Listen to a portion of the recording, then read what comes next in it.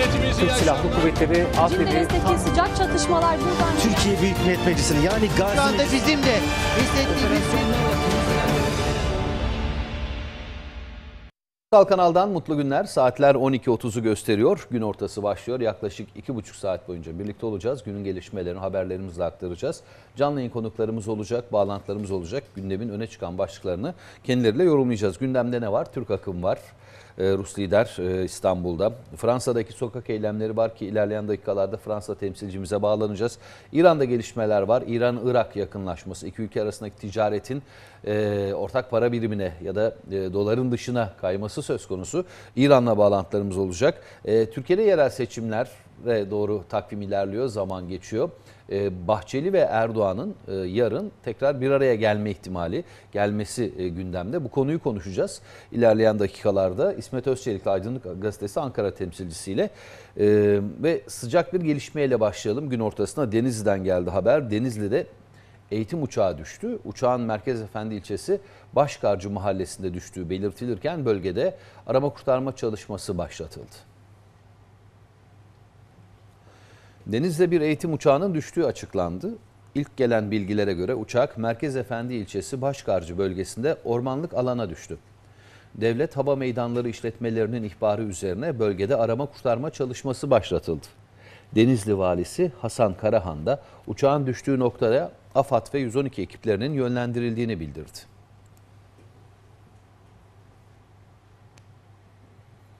Evet bu sıcak gelişmeyle başladık. Arama kurtarma çalışmaları devam ediyor. Gelişmeler oldukça sizlere aktarmayı sürdüreceğiz. Rusya Devlet Başkanı Vladimir Putin, Türk akımı projesiyle ilgili düzenlenecek tören kapsamında Türkiye'ye geliyor. Rus lider törenin ardından Cumhurbaşkanı Erdoğan'la Mabeyin Köşkü'nde görüşecek.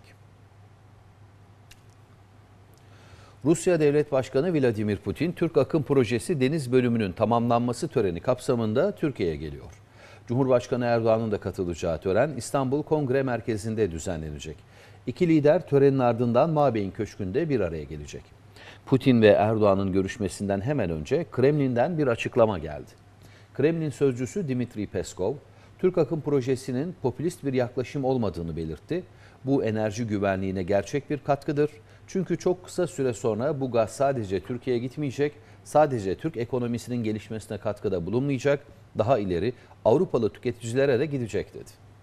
Bu arada yurt içi piyasalarda Rus liderin ziyaretine odaklandı. Yurt içinde Putin'in ziyareti ve yetkililerden gelecek açıklamaların gündemin odağında olduğu ifade ediliyor.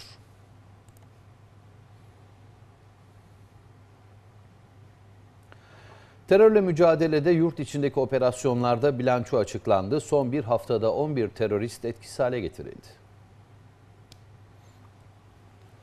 İçişleri Bakanlığı son bir haftadaki operasyonlarda 11 teröristin etkisiz hale getirildiğini bildirdi. Yapılan açıklamaya göre güvenlik güçlerince 12-19 Kasım tarihlerinde 2449 operasyon düzenlendi. Etkisiz hale getirilen 11 teröristin 3'ü ölü, 5'i sağ olarak ele geçirildi. 3 terörist de teslim oldu.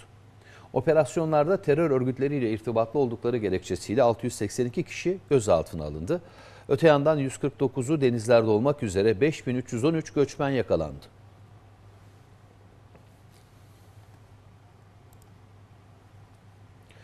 Bölücü terör örgütüne ait kamplar yerle bir edilmeye devam ediyor. Irak'ın kuzeyindeki Zaf ve Sinat Haftanin bölgelerine düzenlenen hava, son hava harekatında 6 PKK'lı daha etkisiz hale getirildi. PKK'nın kampları yerle bir edildi. Açıklama Türk Silahlı Kuvvetleri'nden geldi. Irak'ın kuzeyinde Türkiye sınırına saldırı hazırlığındaki PKK'lar tespit edildi. Koordinatlar belirlendikten sonra Zaf ve Sinat Haftan'ın bölgelerine hava harekatı düzenlendi. Hedeflerin tam isabetle vurulduğu operasyonda toplam 6 terörist etkisiz hale getirildi. Bölücü terör örgütlerine ait silah mevzi, sığınak ve mühimmat depoları da imha edildi.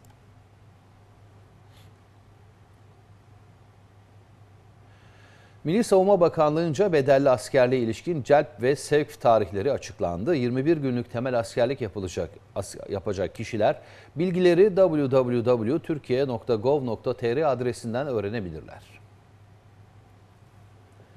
Bedelli askerliğe ilişkin celp ve sevk tarihleri belli oldu. Açıklama Milli Savunma Bakanlığı'ndan yapıldı. Bedelli askerlik yükümlüsü olan vatandaşlar için 21 gün temel askerlik yapacakları birlik bilgileri, yoklama durumları ve sevk evraklarını alabilecekleri tarihler www.turkiye.gov.tr adresinden ilan edildi. Yükümlülerin durumlarına ait bilgileri askerlik şubelerinden de öğrenebilecekleri belirtildi. Açıklamada temel eğitime sevk edilecek yükümlülerden yoklaması olmayanların yoklamalarını sevkleri öncesinde yapması gerektiği vurgulandı.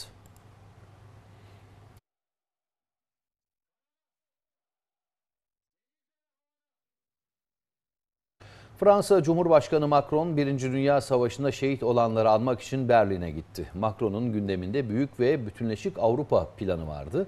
Macron Alman Meclisi'nde yaptığı konuşmada Alman siyasetçilerden hayalleri için destek istedi. Fransa Cumhurbaşkanı Emmanuel Macron, Birinci Dünya Savaşı'nda hayatını kaybedenlerin anıldığı törene katılmak üzere gittiği Almanya'da Federal Meclis'te konuşma yaptı. Macron, Avrupa'nın ve özellikle Almanya ile Fransa'nın dünyanın kaosa sürüklenmesine izin vermemek gibi bir misyonu olduğunu belirtti. Avrupa daha güçlü olmalı ve daha bağımsız hale gelmeli diyen Macron, Avrupa'nın kendi savunma ve güvenliği için daha fazla sorumluluk alması gerektiğini söyledi. Macron, daha büyük bir Avrupa egemenliğine ihtiyaç olduğunu dile getirdi. nos démocraties ouvertes. Macron ayrıca Avrupa büyük güçlerin oyuncağı olamaz ifadelerini kullandı. Macron sözlerine şu şekilde devam etti. Bizi engellemeye çalışan birçok güç var. Tartışmalarımıza karışıyor, liberal demokrasilerimize saldırıyor ve bizi birbirimize düşürmeye çalışıyorlar. Bu küresel düzende gücümüzün, gerçek gücümüzün birliktelikten geldiğinin farkında olmalıyız. doit aussi devenir. Daha bütünleşmiş bir Avrupa Birliği istedi Fransa Cumhurbaşkanı Macron. Eylül ayı sonunda yaptığı açıklamada Avrupa vizyonunun bir parçası olarak Avrupa Birliği savunma gücü kurmayı, güvenlik ve terörle mücadele alanlarında daha fazla işbirliği hedeflediğini açıklamıştı.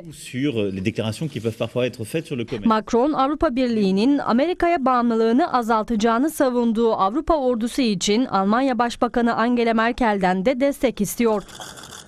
Merkel daha önce yaptığı açıklamada bir gün gerçek bir Avrupa ordusu oluşturma vizyonu üzerinde çalışmalıyız ifadesini kullanmıştı. Türk Silahlı Kuvvetleri Zeytin Dalı Harekatı'yla terör örgütü PYD PKK'dan temizlediği Afrin'de sokağa çıkma yasağı ilan etti. Güvenlik güçlerinin bölgede yağma ve soygun yapan bir gruba karşı operasyon başlattığı belirtildi. Afrin'de hırsızlık, gasp ve çete faaliyetleri yürüten suç örgütüne karşı Türk Silahlı Kuvvetleri'nin desteğiyle Özgür Suriye Ordusu tarafından operasyon başlatıldı. Bölgedeki güvenlik kaynaklarından alınan bilgiye göre Afrin'de halka zulmeden yaklaşık 300 kişilik Abu Havle çetesine karşı harekete geçildi. Türkiye'nin bölgede sağlamaya çalıştığı istikrarı bozmayı amaçlayan örgüte yönelik operasyonda çatışmaların sürdüğü belirtildi. ÖSO grupları tarafından yürütülen operasyonun çete mensuplarının şehir içindeki karargah binası ve çevresinde sivilleri canlı kalkan olarak kullanması nedeniyle yavaş ilerlediği ifade edildi. Afrin şehir merkezinde iki noktada sıkıştırılan suç çetesine yönelik operasyon sürerken bölgedeki sivilleri tahliye çalışmaları da devam ediyor. Çatışmalar pazar günü saat 5'te başladığını ifade eden terör ve güvenlik uzmanı Abdullah Ağar, operasyonun hedefinde YPG, PKK hücreleriyle hırsızlık çetelerinin olduğunu ifade etti.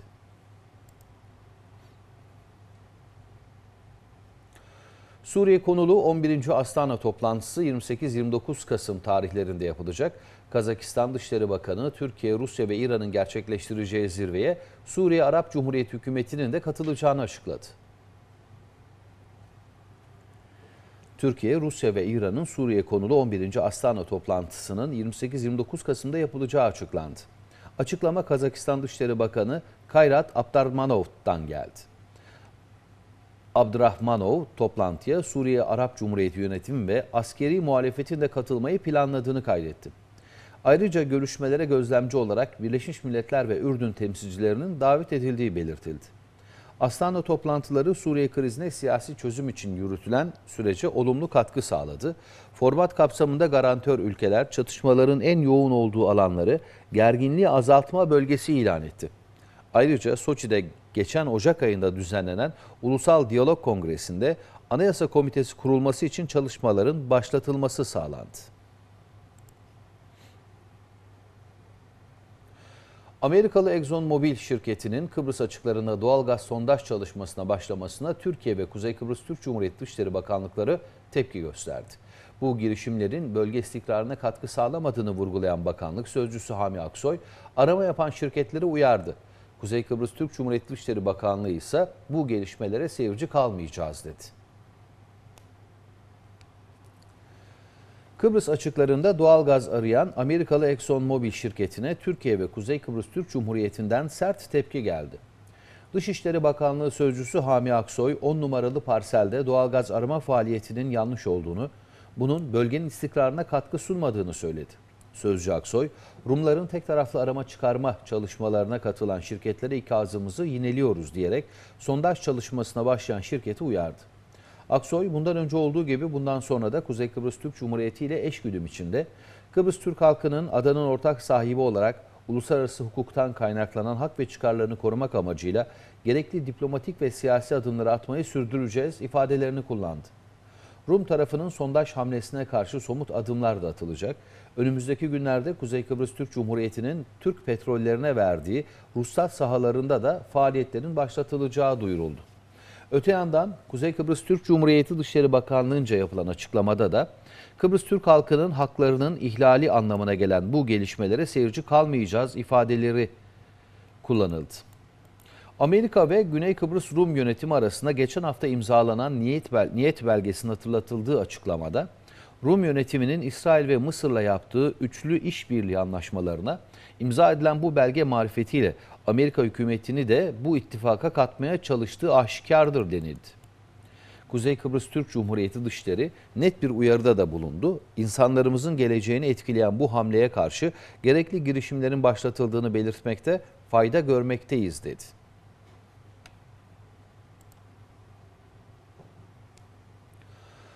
Kaşıkçı cinayeti soruşturması devam ederken Washington Post gazetesinden farklı bir iddia geldi. Raporunu yarın açıklayacak olan CIA'in Kaşıkçı'nın öldürülmesi emrini Veliaht Prens Muhammed Bin Selman'ın verdiği sonucuna ulaştığı iddia edildi. Amerika Senatörü Lindsey Graham ise katıldığı televizyon programında Veliaht Prens'in sorumluluğunda olduğuna inandığım bu suçu ortak ortaya çıkarmak için elimden geleni yapacağım dedi. Washington Post gazetesinin Kaşıkçı cinayetindeki yeni iddiası okları Suudi Veliaht Prensi Muhammed Bin Selman'a çevirdi. 2 Ekim'den beri gizemini koruyan cinayetin ayrıntıları ortaya çıkarken Washington Post gazetesi farklı bir iddia gündeme getirdi. Washington Post gazetesinin konuyla ilgili kişilere dayandırdığı haberinde CIA'in Kaşıkçı'nın öldürülmesi emrini Suudi Arabistan Veliaht Prensi Selman'ın verdiği sonucuna ulaştığı iddia edildi. Konuyla ilgili kesin bir açıklama yapmayan Amerika Başkanı Trump, CIA'in yarın açıklayacağı kesin raporu beklediğini belirtti. Cinayetle ilgili bir televizyon programına katılan Amerika Senatörü Lindsey Graham, Kaşıkçı ile ilgili 15 Suudi yetkilinin günah keçisi olmasına izin vermeyeceğiz dedi. Ayrıca Graham, Veliaht Prens'in sorumluluğunda olduğuna inandığım bu suçu ortaya çıkarmak için elimden geleni yapacağım ifadesini kullandı. Irak'ın Tikrit kentinde bomba yüklü araçla düzenlenen saldırıda 5 kişi öldü, 16 kişi yaralandı. Henüz saldırıyı üstlenen olmadı ancak şüpheler terör örgütü IŞİD üzerine yoğunlaşıyor. Irak'ın Tikrit kent merkezindeki bir semtte bomba yüklü araç patlatıldı. Irak Savunma Bakanlığı Tikrit'te yapılan saldırıda 5 kişinin hayatını kaybettiğini, 16 kişinin yaralandığını açıkladı. Patlamadan sonra olay yeri güvenlik koridoru altına alındı ve soruşturma başlatıldı. Saldırının sorumluluğunu henüz üstlenen olmadı ancak terör örgütü IŞİD saldırıdan sorumlu tutuluyor. Iraklı askeri yetkililer Aralık 2017'de IŞİD'in ülkedeki askeri varlığının büyük oranda sona erdiğini ilan etmişti. Ancak IŞİD'e ait uyuyan hücreler zaman zaman Musul, Salahaddin, Enbar ve Kerkük'te güvenlik güçleri ve sivilleri hedef alan saldırılar düzenliyor. Türk Sahil Güvenlik Komutanlığı Ege Denizi'nde başarılı bir operasyona daha imza attı. Yumurta Adada mahsur kalan 44 göçmen operasyonla kurtarıldı.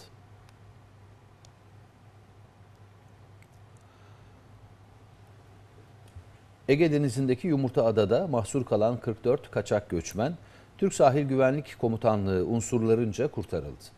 Mavi Vatan'da 7 gün 24 saat görev yapan Türk Sahil Güvenliği sabaha karşı Alo 158 ihbar hattına bir göçmenin yarım çağrısıyla harekete geçti. İhbarda 40 kişilik bir göçmenin bir adada mahsur kaldığı bilgisi verildi. İhbar ve kurtarma operasyonu başladı. Önce kaçak göçmenlerin bulunduğu konum tespit edildi. Göçmenler Kuzey Ege'de Balıkesir'in Ayvalık ilçesi açıklarındaki Yumurta Adada mahsur kalmıştı. Türk Sahil Güvenlik Komutanlığı iki helikopter ve bir botla arama kurtarma faaliyeti başladı. Sahil güvenlik unsurları aralarında kadın ve çocukların da bulunduğu 44 kişiyi kurtararak Ayvalık limanına getirdi. Bölgedeki arama kurtarma faaliyetleri tamamlandı. FETÖ soruşturması kapsamında eski Sağlık Bakanlığı çalışanı 32 kişi hakkında gözaltı kararı verildi. Şüphelilerden 18'i yakalandı. Ankara Cumhuriyet Başsavcılığı'nca Baylok kullandıkları tespit edilen eski Sağlık Bakanlığı çalışanı 32 kişi hakkında gözaltı kararı çıkarıldı. Savcılığın talimatıyla harekete geçen ekipler 6 ilde FETÖ operasyonları düzenledi.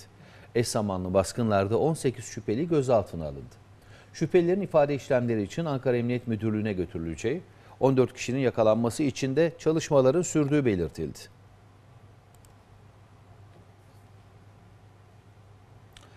Adalet Bakanlığı kadınlara ve çocuklara yönelik cinsel istismar suçları ile ilgili başsavcılıklara genelge yolladı. Buna göre cinsel dokunulmazlığa karşı işlenen suçlarla ilgili derhal soruşturma başlatılacak.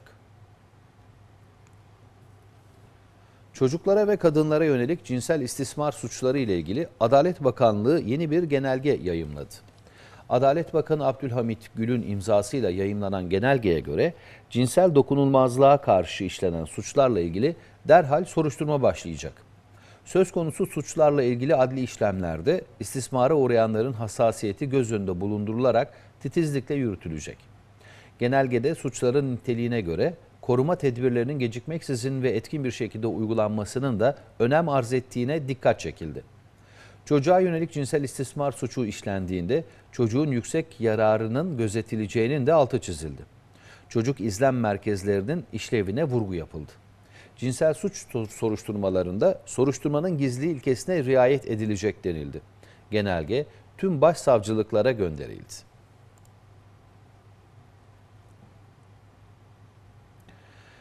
Perakende satış hacmi bir önceki yıla göre %3,4 azaldı. Türkiye İstatistik Kurumu Eylül ayı perakende satış endekslerini açıkladı. Buna göre gıda dışı satışlar azaldı, gıda, içecek ve tütün satışları arttı. Türkiye İstatistik Kurumu Eylül ayı perakende satış endekslerini açıkladı. Buna göre perakende satış hacmi bir önceki yılın aynı ayına göre %3,4 azaldı. Eylül ayında gıda dışı satışlar %8.3 azalırken gıda, içecek ve tütün satışları %6.9 arttı. Yıllık ve aylık bazda en büyük düşüş elektrikli eşya ve mobilya satışlarında oldu. İstatistik Kurumu verilerine göre perakende satış elektrikli eşya ve mobilyada geçen yıla göre %27.6, bilgisayar, kitap ve iletişim aygıtlarında %16.1, otomotiv yakıtında %4 azaldı. Perakendede satışlar azalırken ciro geçen seneye göre %22.5 arttı. Cirodaki yükselişte fiyat artışları etkili oldu. Akaryakıt zammı Fransa'yı adeta birbirine kattı. Ülke genelinde yaklaşık 2000'den fazla gösteri düzenlendi. Protesto gösterilerine 280 binden fazla kişi katıldı. Çıkan olaylarda bir kişi hayatını kaybetti, 227 kişi yaralandı, 73 kişi de gözaltına alındı.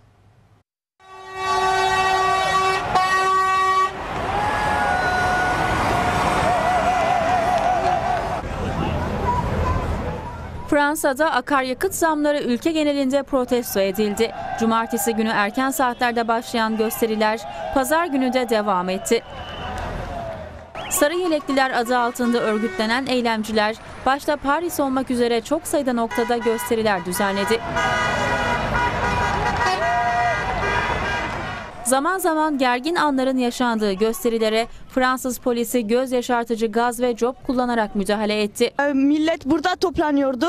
E, Polisler e, baraj yaptılar. Herkesi oraya kadar e, e, iteklediler. Biraz gaz yediler, biraz da dayak yediler.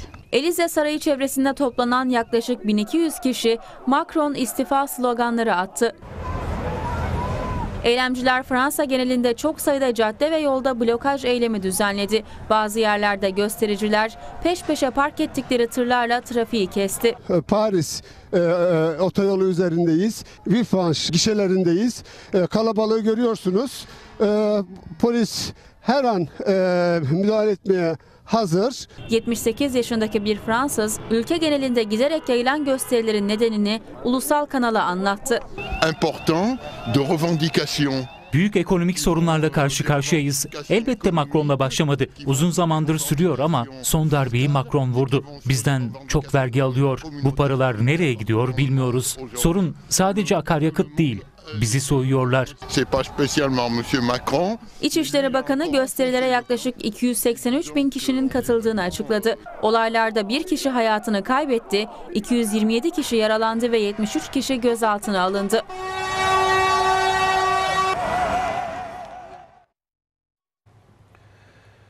Türk akademisyen, Ak- Türk akademi dünyasının tanınan isimleri Amerika'nın ambargolarla hedef aldığı İran'a anlamlı bir ziyarette bulundu. Akademisyenler Tebriz ve Tahran'da çok sayıda üniversite ve düşünce kuruluşunun temsilcileriyle bir araya geldi. Tahran'daki Kafkas Araştırma Merkezi'nde düzenlenen toplantıda bölgesel sorunlar ve çözüm yolları masaya yatırıldı. Profesör Doktor Cüneyt Akalın'ın Batı Asya Birliği sunumu büyük ilgi gördü.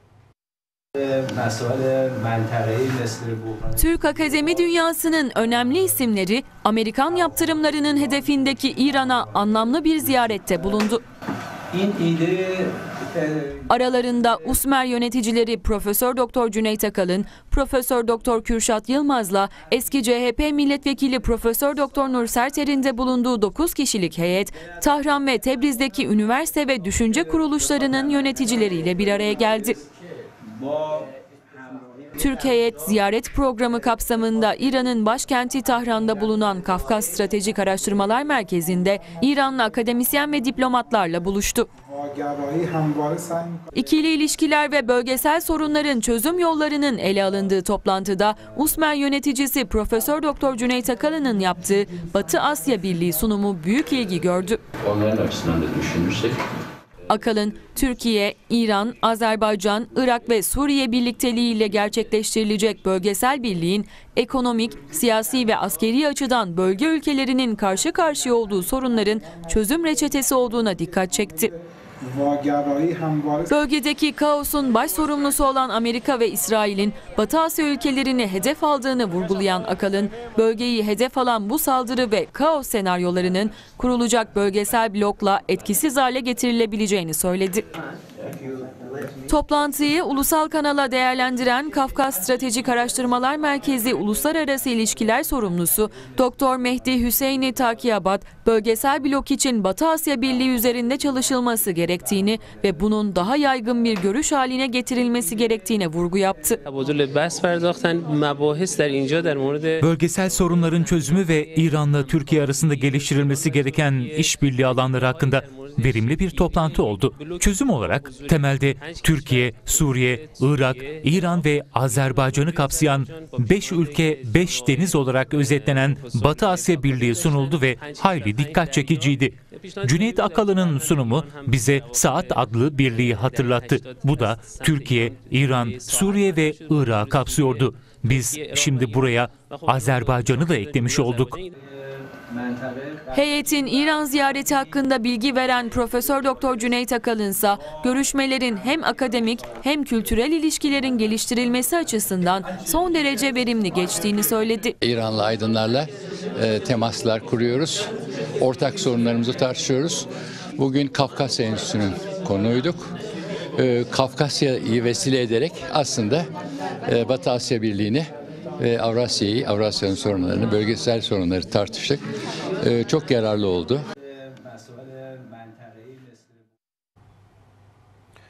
Sayın seyirciler, Cumhurbaşkanı Erdoğan, Atatürk ve Cumhuriyet düşmanı Kadir Mısıroğlu'nu ziyaret ederek büyük tepki çeken Diyanet İşleri Başkanı Ali Erbaş'a sahip çıktı. Erdoğan, Diyanet İşleri Başkanlığımızı siyasi tartışmaların malzemesi yapma girişimlerini tasvip etmediğini söyledi. O koltuğu derhal ama derhal terk et. Ve gereğini derhal yapması samimi tavsiyem ve temennimdir. Bu adamın ayağına giden Diyanet İşleri Başkanı'nı da görevden alın. Cumhurbaşkanı Erdoğan tepkilere rağmen Diyanet İşleri Başkanı'na sahip çıktı. Diyanet camiamızı üzecek, milletimizle Diyanet mensuplarımızın arasını açacak tartışmaların hiç kimseye bir faydasının olmadığını düşünüyorum. Diyanet İşleri Başkanlığı'nın düzenlediği törende konuştu Erdoğan. Saygıdeğer Cumhurbaşkanımıza Diyanet İşleri Başkanı Ali Erbaş'ın Kadir Mısıroğlu'na geçmiş olsun ziyaretinde bulunmasıyla ilgili gelen tepkilere yanıt verdi. Diyanet İşleri Başkanlığımızı siyasi tartışmaların malzemesi yapma girişimlerini tasvip etmediğimi belirtmek istiyorum.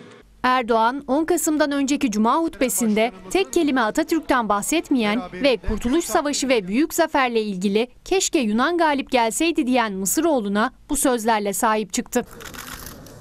Ali Erbaş'ın arkasında duran bir diğer isim de AKP sözcüsü Ömer Çelik olmuştu. İnsani bir ziyaretten böylesine siyasi sonuçlar çıkarılması, böylesine ideolojik sonuçlar çıkarılmasını e, doğru bulmuyoruz. Diyanet İşleri Başkanımız, e, Cumhurbaşkanımız tarafından, hükümetimiz tarafından takdir edilen bir ilim adamıdır.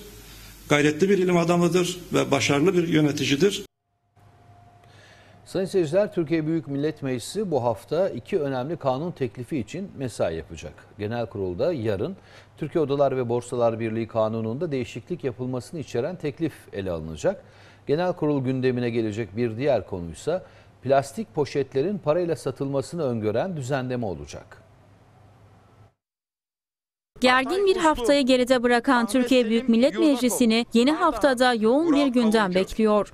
Plan ve Bütçe Komisyonu'nda 960 milyar liralık 2019 yılı bütçesinin görüşmelerine 22 Kasım'a kadar devam edilecek. Pazartesi günü Kültür Bakanlığı, Salı günü Adalet Bakanlığı, Çarşamba günü Çevre Bakanlığı, 22 Kasım Perşembe günü ise Hazine ve Maliye Bakanlığı bütçeleri ele alınacak. 2019 yılı ilk defa yeni Cumhurbaşkanlığı sisteminin Aralık ayında ise 2019 yılı bütçesi Meclis Genel Kurulu'na gelecek. Zor bir süreç bekliyor. Çünkü şu anda bu bütçeyle e, öngörülenler enflasyon karşısında maalesef eriyor. Plan ve Bütçe Komisyonu'nun yanı sıra Güvenlik ve İstihbarat Komisyonu da mesaide olacak. Meclis Başkanlığı'na iki ayrı kanun teklifi verdik. Genel kurulda ise iki ayrı kanun teklifi görüşülecek. Salı günü Türkiye Odalar ve Borsalar Birliği ile Odalar ve Borsalar Kanunu'nda değişiklik yapılmasına dair kanun teklifi masaya yatırılacak. Teklife göre milletvekiliyle yerel seçimlerde adaylık için görevinden ayrılan birlik başkan ve yöneticileri seçilemedikleri takdirde eski görevlerine dönebilecek. Teklif odayla esnaf ve sanatkarlar meslek kuruluşlarının yöneticilerini de kapsıyor. Türkiye Odalar ve Borsalar Birliği Kanunu'nun kabul edilmesinin ardından plastik alışveriş poşetlerinin parayla satılmasına içeren düzenleme genel kurulda görüşülecek. Artık poşetlerinde tüketimini azaltmak maksadıyla Çevre kanunu ve bazı kanunlarda değişiklik yapılmasına dair kanun teklifine göre poşetler vatandaşa en az 25 kuruştan satılacak. Plastik poşetleri ücretsiz veren satış noktalarına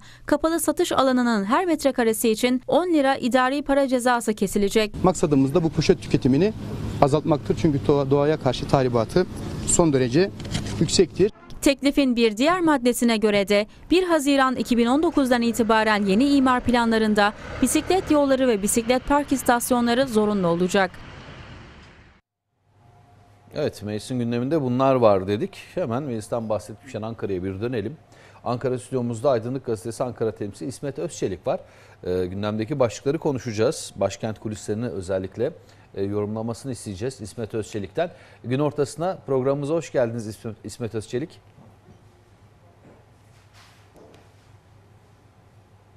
Beni duyabiliyor musunuz? Evet, ben İsmet Özçelik'i duyamıyorum sanırım. Sesi stüdyomuza ulaşmıyor. Ee, o beni duyuyor, yayına da gidiyorsa sorun yok. Ben hemen e, konu başlıklarını sıralayıp sorumu sormak isterim.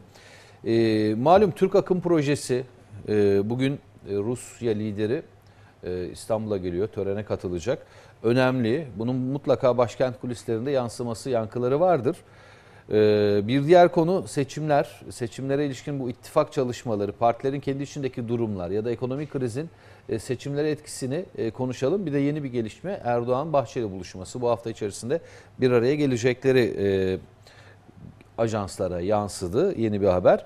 E, Bir de e, özellikle şeker fabrikalarının özelleştirilmesi konusunu değerlendirmek istiyorum İsmet Özçelik'le birlikte. E, Bu sektörü yakından takip ettiğini biliyorum İsmet Özçelik'in. Son günlerde birçok sosyal medyada özellikle mesaj ve video paylaşılıyor. Üreticiyi, bu özelleştirmelerin üreticiyi vuran boyutuna ilişkin. Bu konuda da yorumlarını almak isterim ama Türk Akım projesiyle başlayalım. Ee, ne diyorsunuz Rusya lideri Putin'in e, Türkiye'ye gelmesi, bu önemli projenin önemli bir kısmının deniz geçişinin tamamlanması ve bugünkü e, bu buluşma, bir araya gelme e, başkent kulislerine nasıl yansıyor İsmet Özçelik?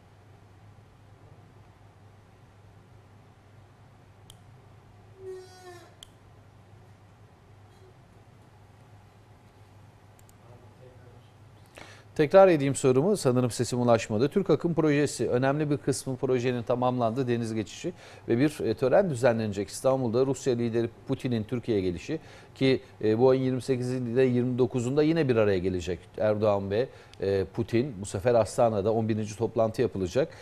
Türkiye-Rusya ilişkileri ve Türk Akım Projesi özellikle bu proje kapsamında başkent kulislerinde neler konuşuluyor, neler paylaşılıyor, nasıl yansıyor?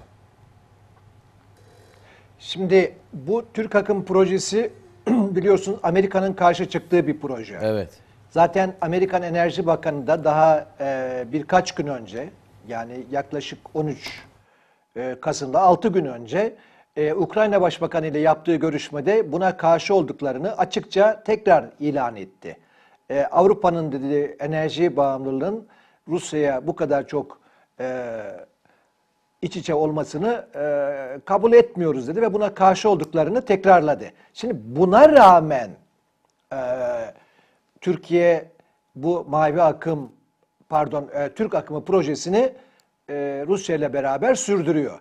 Hatırlarsınız Amerikalılarla Avrupalılar arasında bazı sıkıntılar var. Bu ticaret savaşları biraz ters tepmiş e, durumda ve ABD ile Avrupa arası giderek kopuyor.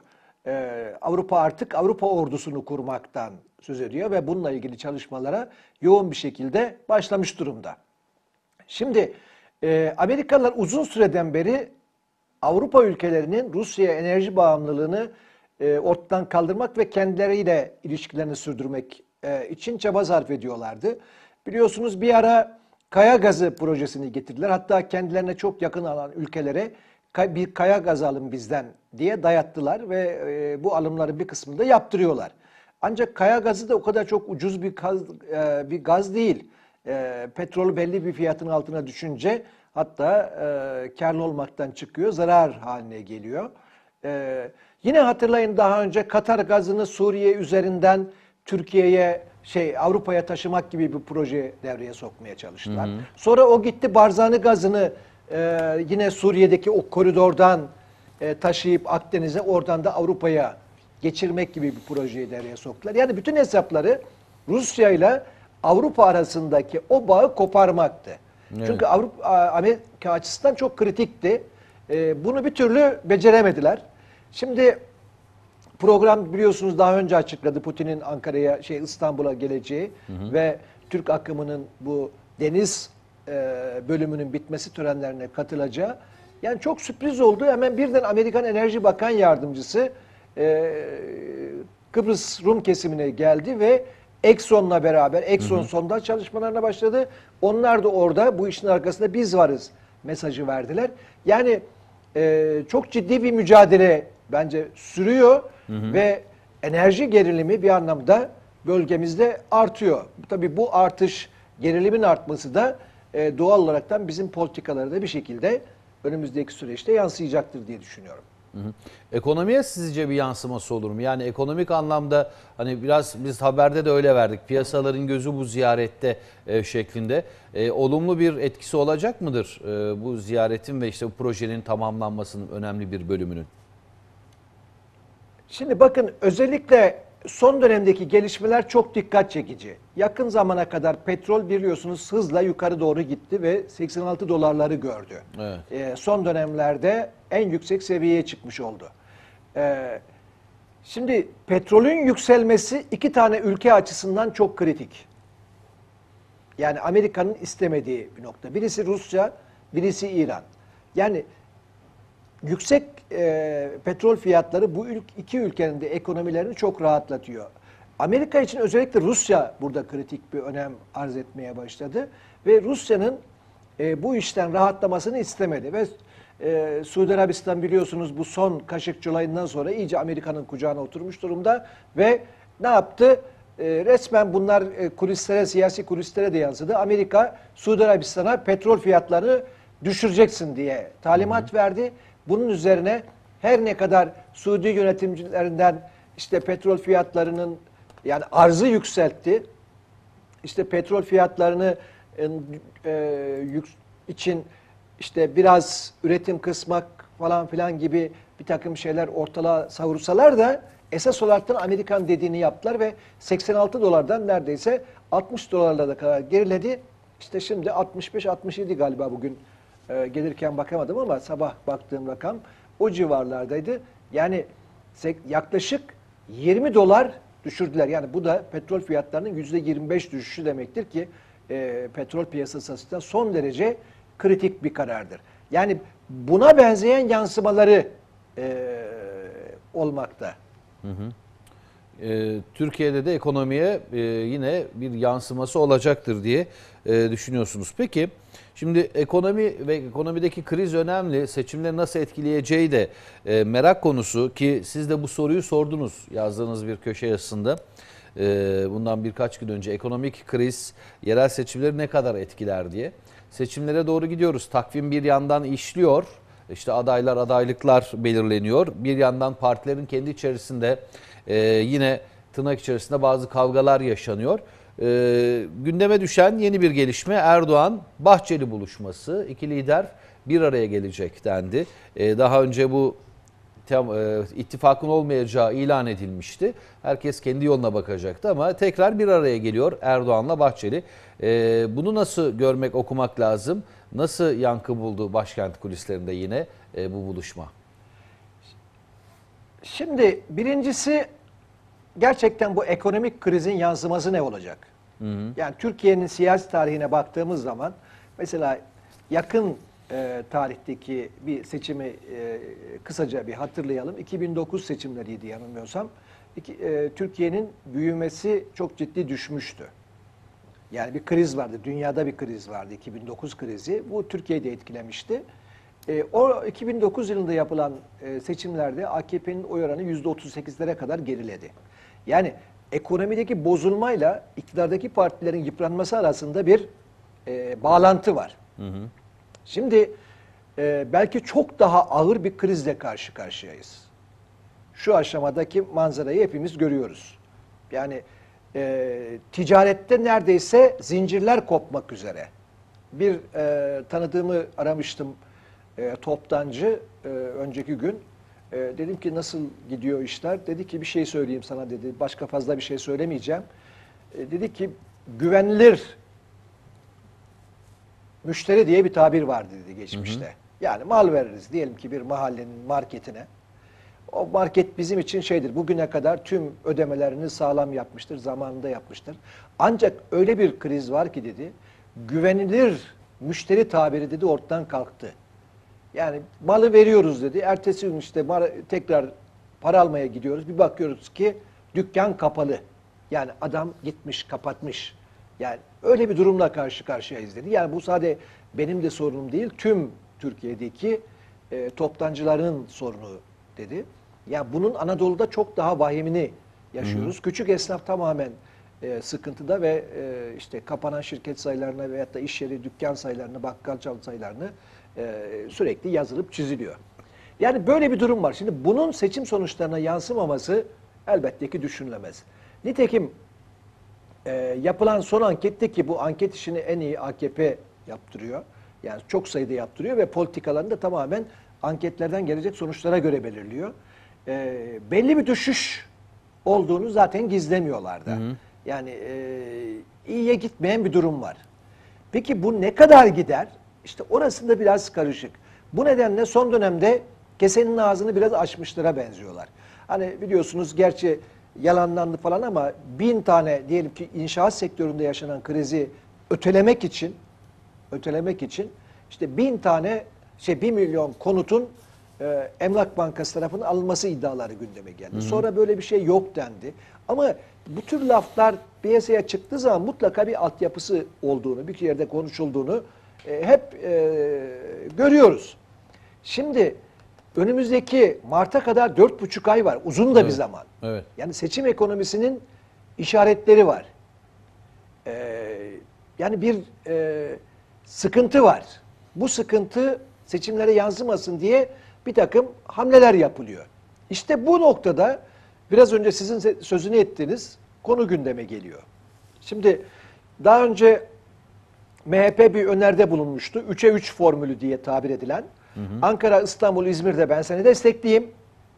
Mersin, Adana ve Manisa'da da büyük şehirlerinde de sen beni destekle. Şimdi böyle bir öneri götürdüler. Fakat AKP burun kıvırdı bu öneriye ve dedik biz her yerde biliyorsunuz açıkladı e, Genel Başkan Yardımcısı. Biz Türkiye'nin her tarafında adaylarımızı göstereceğiz ve sonuna kadar gideceğiz diye. Hatta Bahçeli jest de yaptı. İstanbul'dan aday çıkarmayacağız dedi. Aday göstermeyeceğiz dedi. E, buna rağmen e, AKP'liler yine buna burun kurmuşlardı. Ancak gelen sonuçlardan sonra e, işler biraz karışmış gibi gözüküyor. Özellikle yani İzmir'in sonucu kabaca belli. E, İstanbul ve Ankara'da çok 50-50 durum var. Yani e, öyle güçler dengesi çok birinin lehine e, bozulmuş değil. Hatta MHP'nin e, güçlü bir aday çıkarması durumunda ise çok daha farklı bir durum var. E, oradan e, diyelim ki e, AKP'nin kaybetme ihtimali biraz daha artıyor. Şimdi bu hem İstanbul'da hem Ankara'da bir ciddi sıkıntı. Bu nedenle e, MHP Bahçeli görüşmesi yeniden gündeme geldi ki orada e, yani bunu devam edemezler. Önlem almak zorundalardı. Çünkü e, başka bir şey var. Erimenin boyutu daha da ileri giderse ve o aşamada bu görüşmeler gündeme gelirse e, tabii masaya oturduğunuz zaman kimin eli güçlüdür ona bakarsınız. Eğer eliniz daha zayıfsa çok daha fazla taviz vermek zorunda kalırsınız. Şimdi bunlar e, görebildiğimiz kadarıyla yapılıyor. Ben sordum talep kimden geldi diye. E, Erdoğan'dan geldiğini söyledi MHP çevreleri. E, bu da yani önümüzdeki e, günlerde bu ittifaklar meselesinin yani özellikle birkaç tane ittifak var biliyorsunuz. Hı hı. Bir AKP MHP ittifakı var. Diğer taraftan CHP İyi Parti, CHP HDP ittifakı söz konusu. E, bunların hepsi gündeme e, yeniden oturacak ve biz bunları daha çok konuşacak e, gibi görü- e, gözüküyor. Peki e, bu noktada biraz şunu konuşalım. Yani e, dediğiniz gibi çok konuşacağız daha 4-4,5 ay var ama e, şimdi ekonomik krizin seçimlere iktidar açısından e, onların pek istediği gibi yansımayacağı kesin. E, iktidarın işine gelmeyeceği daha doğrusu. Muhalefet peki bu, bu bir fırsatsa bunu doğru kullanabiliyor mu? Yani bunu biraz da hani partilerin içerisindeki e, tırnak içinde kavgaları da çekişmeleri de göz önüne alarak e, yanıtlayın. Yani muhalefet bu fırsatı değerlendirebiliyor mu? Değerlendirebilecek mi? Şimdi Ankara kulisten de en çok konulan, konuşulan konulardan birisi de bu. Ee, yani bu ekonomik krize rağmen hala muhalefet seçim kazanamıyorsa bu, o muhalefet partilerinin tüm yöneticileri o koltuklarını terk etsin diyen çok geniş bir kesim var. Evet. Bu da şunun için yani hatırlayın e, bunca krize rağmen işte Bahçeli ve e, Erdoğan arasında biliyorsunuz daha önce yapılan ve yerel seçimlerde de e, ittifakın sürdürülmesini öngören açıklama e, birdenbire muhalefeti ellerindeki ne koruma telaşına düşürmüştü. Sonra Bahçeli'nin o çıkışından ve e, Cumhur İttifakı'nı yerel seçimde bozacaklarını ve kabu, e, yapmayacaklarını açıklamasından sonra muhalefet biraz daha e, umutlanmıştı. E, şimdi bu tabii son gelişmeler nasıl bir sonuç çıkarır e, bilemiyorum. Ama bir gerçek var ki Yani muhalefet e, içinde bulunduğumuz ve iktidar açısından son derece dezavantajlı olan e, durumu lehine çevirme konusunda çok da e, becerikli gözükmüyor. Şimdi düşünün bakın Cumhurbaşkanı seçimini 24 Haziran seçimlerini yeni yaşadık. Evet. O zaman da şartlar aslında çok iyi değildi. Ama buna rağmen yani bütün araştırmalarda Erdoğan'ın birinci turda kazanma şansı neredeyse sıfır gibi gözüküyordu. Ama kazandı. Nasıl oldu? Şimdi CHP tuttu, e, HDP ile ittifak meselesini gündeme getirdi. E, işte CHP'nin adayı Muharrem İnce, Selahattin Demirtaş'ı Cumhurbaşkanı yapacağını söyledi. E, efendim işte meşhur apolet tartışması başladı falan derken yani e, birdenbire olay e, tersine döndü son 15 gün içerisinde ve e, Erdoğan'ın lehine bir sonuç karşımıza çıktı. Yani bir anlamda tepside, altın tepside birinci turda Cumhurbaşkanlığını er, e, Erdoğan'a hediye etti muhalefet. Şimdi aynı hata, bakın orada görülen bir HDP hatası var. Şimdi aynı hata tekrar konuşuluyor. Yani CHP yöneticileri acaba yani neyi kim adına nasıl yapıyorlar bilemiyorum ama yani sürekli bu konuyu kaşımak e, sonucunun nereye gideceği belli olan bir şey. Yani kaybedersin. HDP ile ittifak meselesine politikanı oturtturursan kaybedersin. Buna rağmen bunda ısrar etmelerini ya ben bir türlü anlayamıyorum. Yok yani birisi yukarıdan talimat veriyor da bunu böyle yapacaksınız mı diyor. Yani sokağa çıkan her şey, Anadolu'ya giden herkes. Ya milletvekillerine sorduğumuz zaman e, herkes 24 Haziran'daki seçim kayıplarının nedenini HDP ile ilişkiye bağlıyor. Ya buna rağmen şimdi neden böyle bir şey yapıyorlar anlamak gerçekten zor. Evet, evet. Ee, ekonomiyi konuşuyoruz. Ee, ekonomiyle ilgili şu başlığı özellikle açacağımı demin de anons ettim. Şeker fabrikalarının özelleştirilmesi konusu. Ee, bu Cumhurbaşkanlığı seçimleri öncesinde de e, gündeme geldi. Bu sistem değişikliği öncesinde de.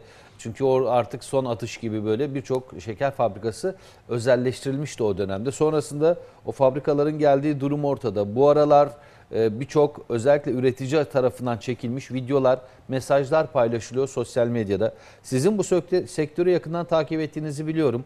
Ne oldu? Özelleştirme neye mal oldu? Özellikle üretici e, boyutunda şeker fabrikalarındaki bu özelleştirme. Şimdi bakın özelleştirme bizim hakikaten e, Türkiye için e, çok ciddi bir sıkıntı olaraktan karşımıza çıkıyor. Geçmişte e, yapılan hataların bedellerini hep beraber bütün ülke olaraktan ödüyoruz. Hatırlayın ilk taş kömürü Zonguldak madencileri ayaklanıp 100 bin kişi yola dökülüp Ankara'ya doğru harekete, yürüyüşe geçince işte Türkiye'de bütün televizyonlarda taş kömürüne karşı çözümler arandı. Bir iş adamı çıktı dedi ki taş kömürünü kapatalım, Zonguldak'ta somon üretelim dedi. Ve sonra e, dışarıdan biz kömür ithal etmeye başladık. Bir süre sonra bunun olmayacağı anlaşılınca Zonguldak'taki kömür ocakları tekrar e, altın değerine geçti. Şimdi çimento sektörü vardı. Bakın sektör olaraktan neredeyse tamamını özelleştirdik. Bedelini hep beraber yaşıyoruz.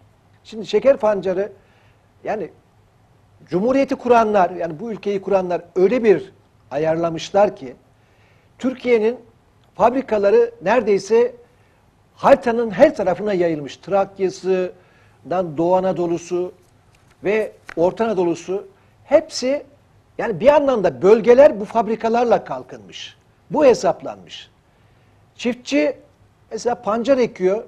İşte Trakya'dan, Orta Anadolu'dan Kars'a kadar olan bölgelerde bu ekim yapılıyor.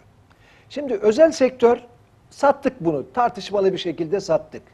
Yani bu fabrikaların sonrasında kapanacağını bile bile sattık. Bakın SEKA'yı sattık.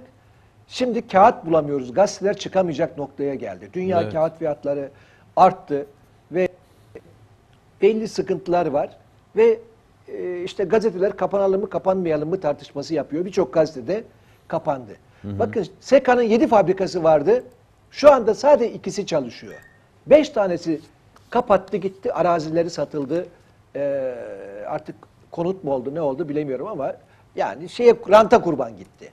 Şimdi fabrikalar için de aynı şey söz konusu. Bu konuda gerekli uyarılar yapıldı. Bakın bu işte çiftçi sıkıntıya girecek diye sizin televizyonda sizler de bir sürü program yaptınız.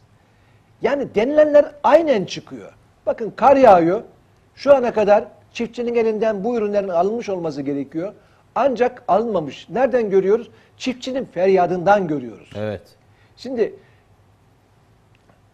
e, pancar çiftçisi kendi başına ekmez. Yani bir soğan değildir, bir patates değildir. Alırım ben depoma koyarım, e, istediğim zaman satarım diyemezsiniz. Doğru. Çiftçi pancarı ekerken Türkiye şeker fabrikalarıyla anlaşma imzalar. Onlar adına ekim yapar. Yani çıkardığı pancarı başka bir yere götürüp satamaz. Şeker fabrikalarına satmak zorundadırlar.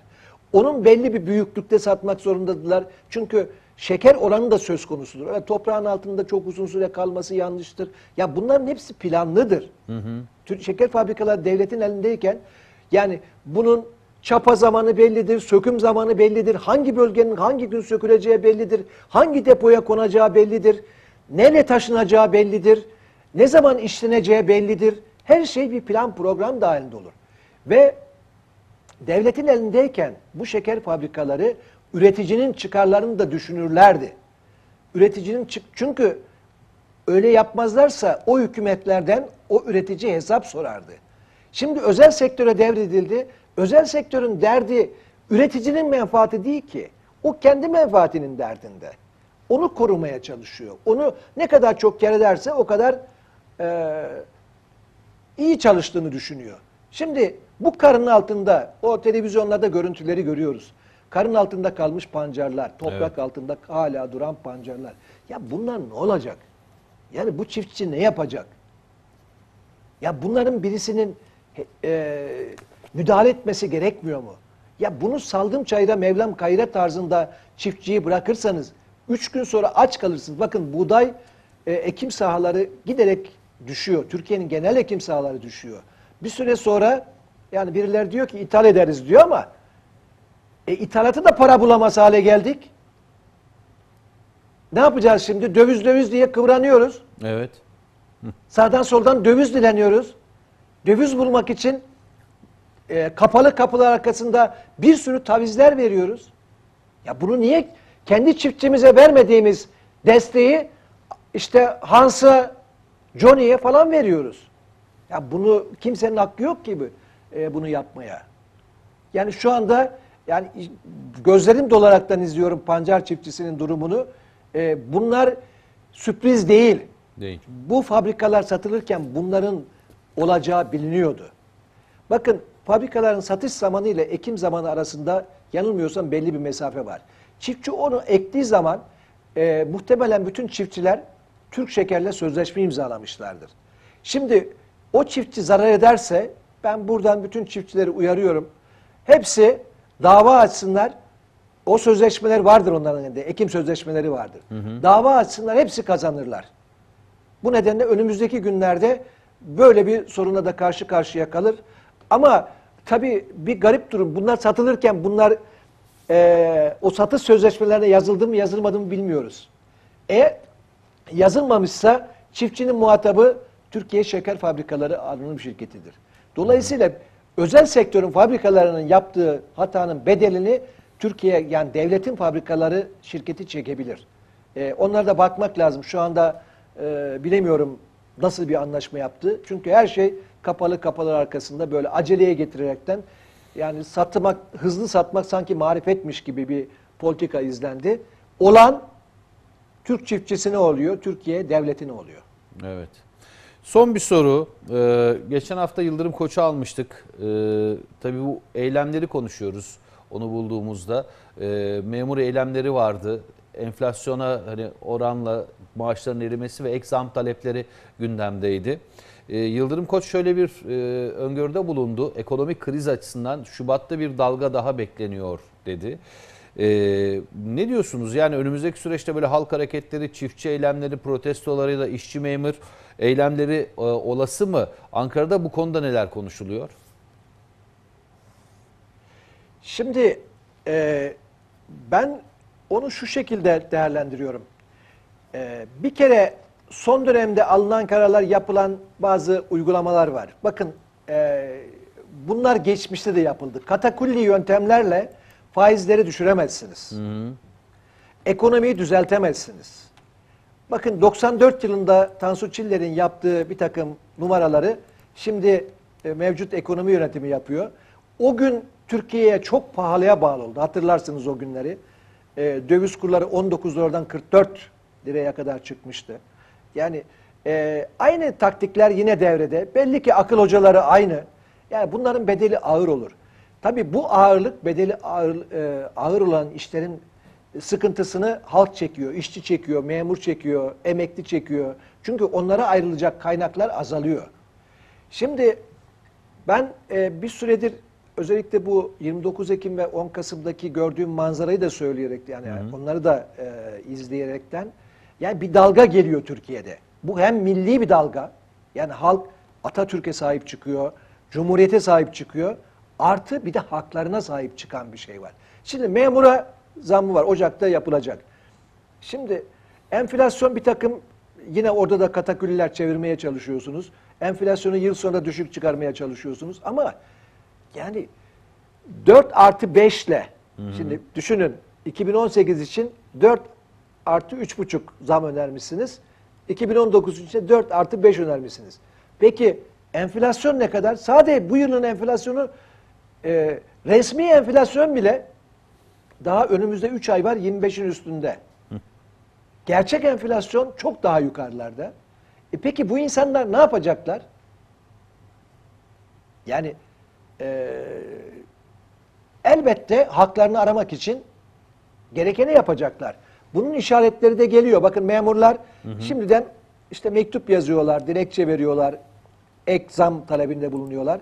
Önümüzdeki günlerde yine başka memur örgütleri e, sokağa çıkacaklar, eylem yapacaklar. Bunların ben devamının geleceğini sanıyorum. Çünkü insanların yaşam standartları geriye doğru gidiyor. Bakın evet. kilo alma yerine artık gramlar söz konusu. Yani eskiden bir kilo e, mesela pirinç ver diyordun. Şimdi işte 500 gram ver, 600 gram ver'e dönüyor işler.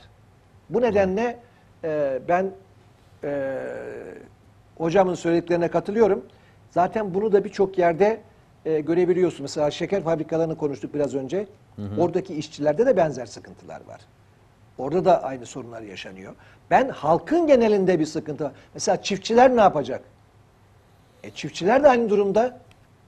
Girdi maliyetleri yükseliyor ama e, diğer e, onların ürün maliyetleri aynı boyutta yükselmiyor. Ne yapacaklar?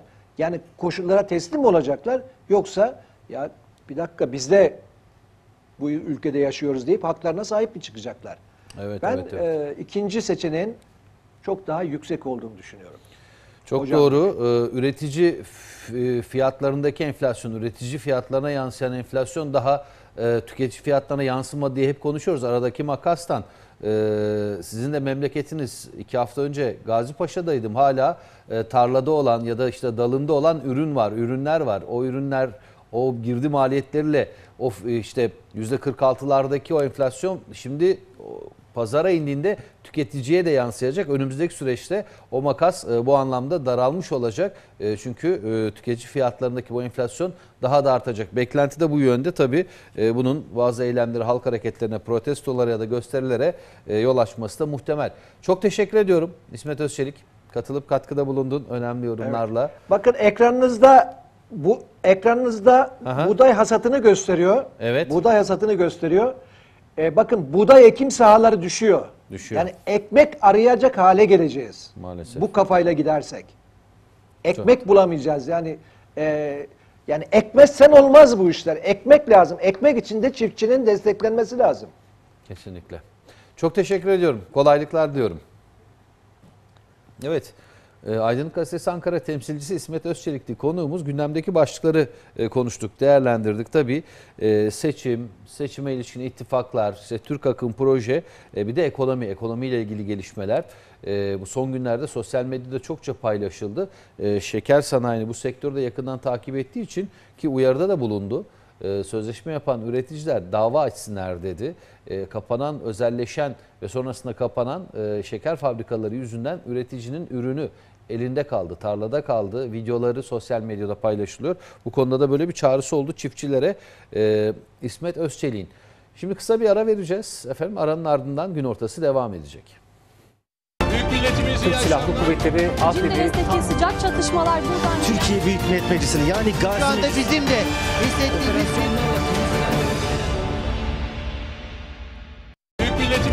Silahlı Kuvvetleri Afrin'i sıcak çatışmalar buradan Türkiye Büyük Millet Meclisi'ni yani Gazi şu anda bizim de hissettiğimiz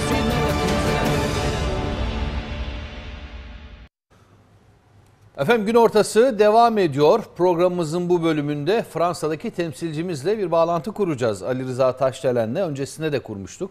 Ee, 17 Kasım'da Cumartesi günü e, Fransa'da büyük eylemler oldu. Biraz önce haberlerde de ekranlarınıza getirdik.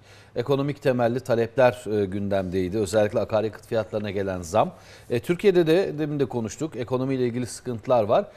Fransa'daki durumu tekrar bir son haliyle ele alalım. Bu eylemler sonrasında ne oldu? Katılımcılar nasıl insanlardı? Hani katılımcıların profiline de belki bir bakmak lazım. Ali Rıza Taşdelen hoş geldin gün ortasına. Hoş bulduk. İyi yayınlar e, Umut Tezerer. Teşekkür ediyorum. Şimdi öncesinde yaptığımız bağlantılarda tabii bazı şeyleri yaşayıp göreceğiz e, demiştik. Sarı yelekler, kimler, nasıl olacak bu eylem? E, tamamen sosyal medya üzerinden böyle örgütlenen, e, herkesin desteklediği ama hani işin başında bir sendikada siyasi partinin olmadığı. Yanılmıyorsam e, mevcut iktidardaki parti dışında herkes destek verdi herhalde bu eyleme. Nasıl geçti 17 Kasım Cumartesi günü Fransa genelinde? Biz biraz haberimizde verdik bilançoyu ama bir de senden dinleyelim. E, evet, e, Umut bugün e, eylemin üçüncü günü. Üçüncü günü diyorum çünkü eylemler devam ediyor ve Öyle devam edeceğe benziyor. E, eylemin e, boyutu da değişmeye başladı bugünden itibaren. E, bu sabahtan itibaren kamyon şoförleri ve çiftçiler de traktörleriyle eyleme katılmaya başladılar. Kamyon şoförleri e, özellikle petrol e, rafinerilerinin girişlerini kapatarak e, dağıtımı, petrol dağıtımını e, engelliyorlar. Traktörler de kav- kavşak ve yolları kesmeye başladılar. Bunlar yeni gelişmeler. E, bunu altını çizelim. E, otoyollar e, gişelerde kesilmiş durumda. Şu an itibarıyla e, özellikle e, Marsilya, Lyon, Paris e, ana e, hattında 2-3 e, gişelerde e, kesilmiş durumda. Benim de e, hafta sonu içinde bulunduğum e, e, orada şahit olduğum e, gişe Villefranche gişelerinde şu anda onlarca kilometre kuyruk e, olduğunu e, söyleyelim. E, gece yarısında e, Gece Fransa'da gerçekten çok e, soğuktu. Fransa'da bugün hava sıfırın altında 1, 2, 3 dereceye kadar indi. Bugün de şu anda an itibariyle de sıfır ve sıfırın altında bir e, sıcaklık var. E, çok soğuk, dondurucu soğuk devam ediyor ama eylem eylemciler de burada tabii durmuyorlar. E, ısınmak için e, öbek öbek ateşler yaktığını görüyoruz. Şimdi eylemin birinci e, e, gününe dönecek olursak bir gün önce sizinle değerlendirmiştik. E, neler yaşandı bu cumartesi, pazar çok kısa bir şekilde e, değinelim. Sabahın e, 17 Kasım cumartesi günü e, 2000'in üzerinde noktada eylem yapıldı. Biz e, konuştuğumuzda cuma günü 1500 civarındaydı. E, İçişleri Bakanlığı'nın açıkladığı rakam bu. 2000 üzerinde noktada eylemler e, yapıldı. E, sabahın erken saatlerinde başlayan eyleme katılım beklenenin üzerinde oldu. İçişleri Bakanlığı eylemlere e, katılım sayısını e, düşük gösterdi. E, 280 bin olarak açıkladı.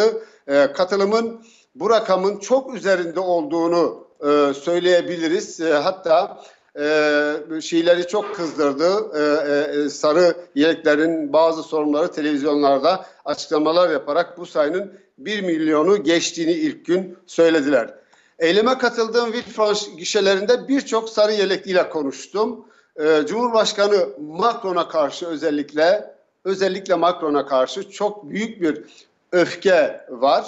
Ee, eyleme ilk defa katılanların e, sayısının epey fazla olduğunu ifade e, ediyorlar. Fransa'nın bütün otoyolları, önemli yol kavşakları, petrol rafinerleri, hava alanlarına giden yollar, alışveriş merkezleri ve benzin istasyonu girişleri bu hafta bu hafta sonunda özellikle cumartesi günü yoğun bir şekilde kesildi. Ee, eylemde en çok atılan sloganlar hükümet istifa ve Macron istifa sloganlarıydı. Şimdi bu boyutta toplumsal eylemlerde e, her zaman e, işte vurucu kırıcı e, takımı oluyor. E, bu eylemlerde de vardı. Özellikle Paris'te e, e, yaşandı. Ama azınlıktaydı. Eyleme yön verenler, e, katılanlar genel olarak sorumluluğu elden bırakmadılar.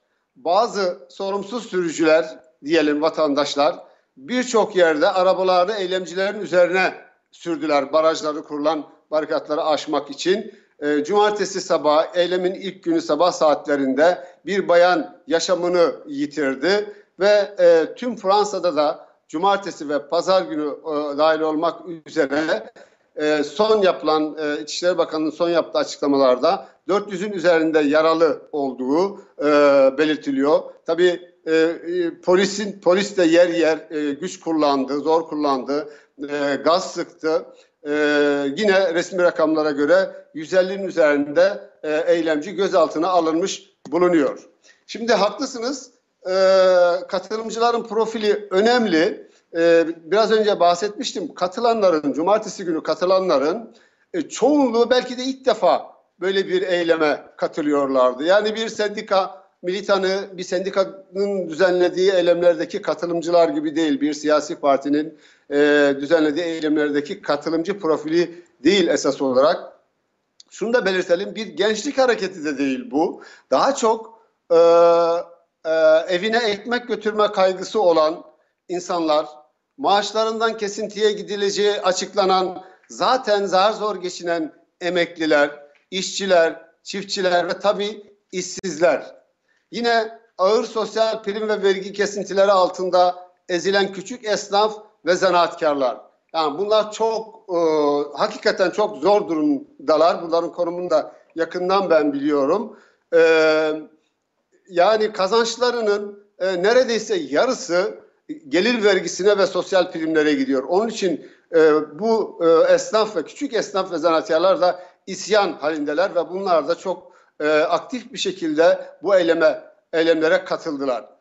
Diğer bir yeni bir şey kırsal kesimde oturan işine alışverişine arabayla gitmek zorunda olan kimseler çoğunluktaydı ve eylemin de kırsal bölgelere yayılmasına da neden oldu bu. Yani eylemler büyük şehirlerde yoğunlaşırdı. İşte Paris'te, Lyon'da, Marsilya'da, Bordo'da gibi büyük şehirlerde yoğunlaşırdı. Ama Fransa'nın e, kuş uçmaz, kervan geçmez denebilecek köylerinde dahi insanlar e, sarı e, yeleklerini giyerek yollara çıktılar, e, eylem e, yaptılar.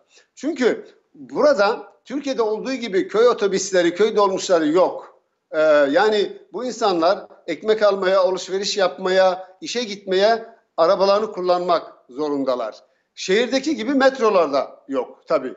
Bu açıdan katılım kırsal bölgeden de çok fazla oldu. Evet, akaryakıta yapılan son zamlar bu yeşil vergi adı altında dizele konacak, mazota konacak yüzde 25'lik yeni ekolojik vergi bardağa taşıran son damla olmuştu ve bu hareketi tetiklemişti. Ama bugün gelinen aşamada eylemler e, gördük ki meselenin sadece akaryakıt sorunu olmadığı ve eylemin genel olarak iktidara karşı tepkilerin de öne çıktığını gördük. Bu benim konuştuğum birçok eylemcinin de ifade ettiği e, noktaydı.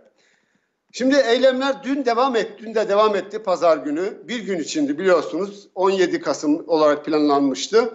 E, ama o gün sabaha kadar e, eylemciler e, yerlerini terk etmediler. O soğuğa, bütün soğuğa rağmen terk etmediler ve dün de devam etti.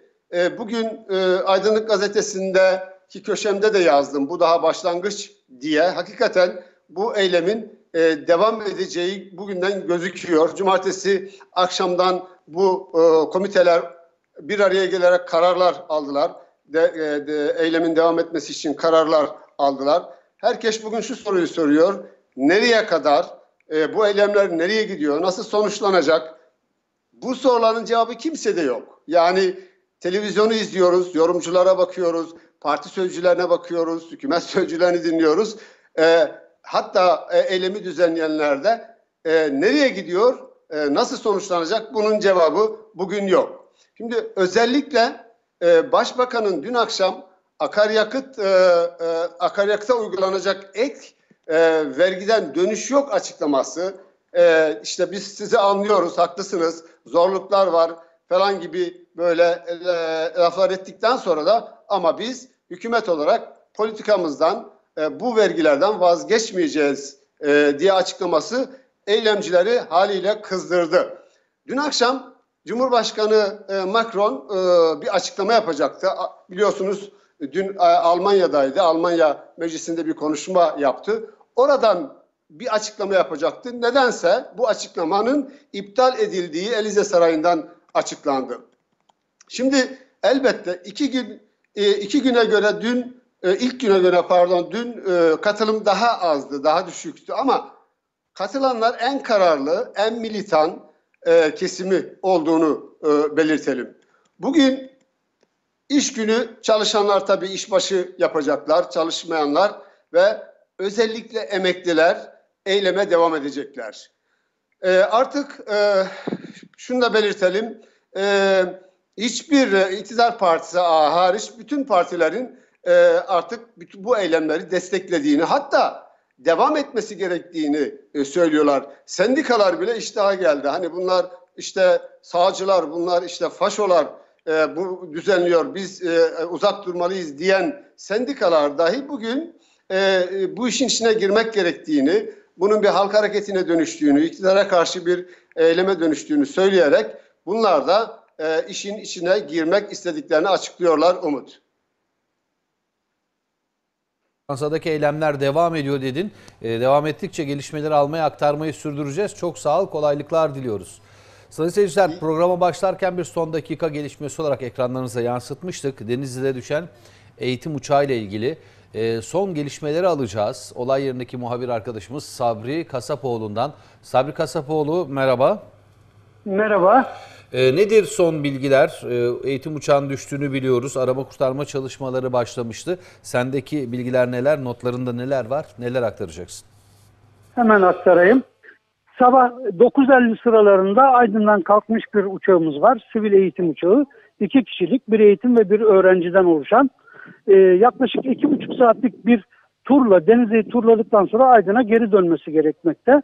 Ancak 10.26'dan itibaren sinyal kesilmiş durumda. Ee, bir küçük sivil uçak olduğu için bilgi almakta güçlük çekiyorlar. Ve Denizli Valiliği hemen harekete geçerek e, bütün imkanlarını seferber edip arama kurtarma çalışmalarına başladı. E, 10-26'dan itibaren yapılan çalışmalar çok geniş bir alanı kapsamakta. Zaman zaman farklı yerlerden sinyal alınmakta. Babadağ ilçemiz ile Tavas ilçemiz arasındaki çok geniş bir alan taranmakta burada. Şu an çalışmalar büyük oranda Tavas ilçemize bağlı Yahşiler Karahisar bölgesine doğru kaymış durumda. Çalışmalar büyük oranda orada sürdürülüyor. Sayın Valili biraz önce bir açıklama yaparak buradan ayrıldı. Çalışmalar şu an Tavas, Yahşiler, Karahisar arasındaki bölgede yoğunlaşmış durumda. Herhangi bir bilgiye henüz ulaşılamadı. Ulaştığında yeniden bilgiler aktarmaya devam ederiz.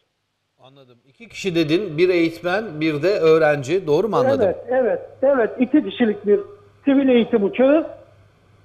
Kimliklerine ilişkin bir bilgi yok anladığım kadarıyla. Kim olduklarına ilişkin. Yok, yok. Henüz henüz kimliklerine ilişkin bir bilgi bize ulaşmadı. Evet, arama kurtarma çalışmaları sürüyor. Belli ki yeri de tam, tam olarak tespit edilebilmiş değil. Ee, Sabri Hayır, Kasapoğlu, henüz tespit edilemedi. Hı hı. çok teşekkür ediyoruz aktardığın bilgiler için. Kolaylıklar diliyoruz. Ee, Ben Deniz'de- teşekkür ederim. İyi yayınlar. Eksik olmayın. Deniz'de düşen eğitim uçağı ile ilgili son bilgileri paylaştı. Ee, Sabri Kasapoğlu. Evet, e, günün gelişmeleriyle yine devam edelim. Eylemler dedik. Fransa'daki eylemleri özetledi. Cumartesi başlayan ve halen bugün de devam eden eylemleri. E, Türkiye'de de benzer eylemler oluyor. Eylemler olacak gibi gözüküyor çünkü e, gerçekten e, insanlar e, kesimler dile getiriyor sorunlarını. Ee, sendikalar, sendikacılar, e, Türkiye Kamu Sen eylemlerini geçen hafta ekranlarınıza getirmiştik. Şimdi Antalya'ya uzanacağız. Petrol Sendikası 28. dönem Genel Temsilciler Kurulu'nu Antalya'da topladı. Gündemdeki konuları değerlendiren Sendika Genel Başkanı Ali Ufuk Yaşar, emekçilerin taleplerini sıraladı. Asgari ücretin acilen revize edilmesini istedi. E, Yaşar, siyasi iktidarın ısrarla değiştirmek istediği kıdem tazminatı konusunda ise bir kez daha kırmızı çizgimiz uyarısı yaptı.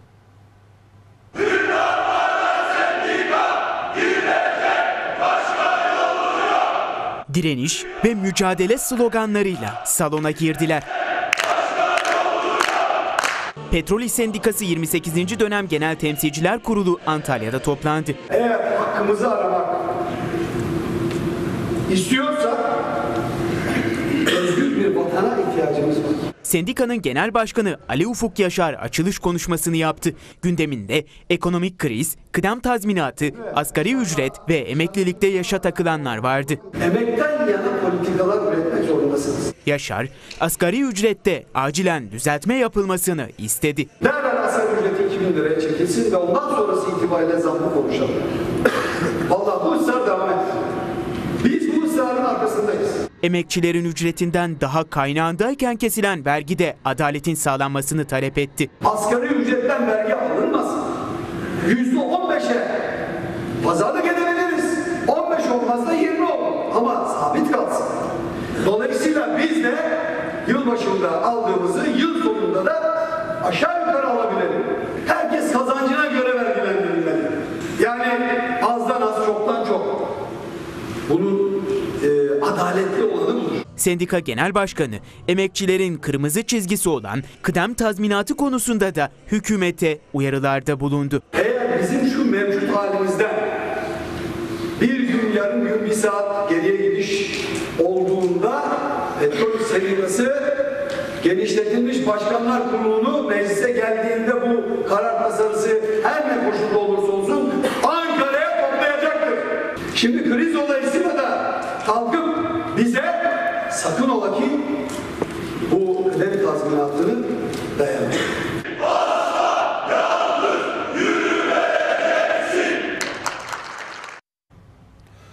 Yaklaşık 210 bin üyesiyle Türkiye'nin en büyük işçi sendikası olan Türk Metal Sendikası'nın Manisa Birnoğlu Şubesi olağan genel kurulunu yaptı.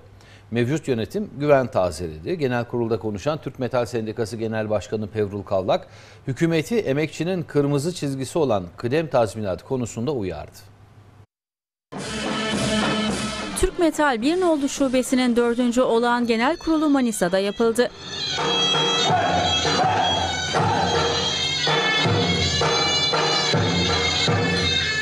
Genel kurul delegelerine hitap eden Genel Başkan Pevrul Kavlak, divan başkanı olarak seçildi.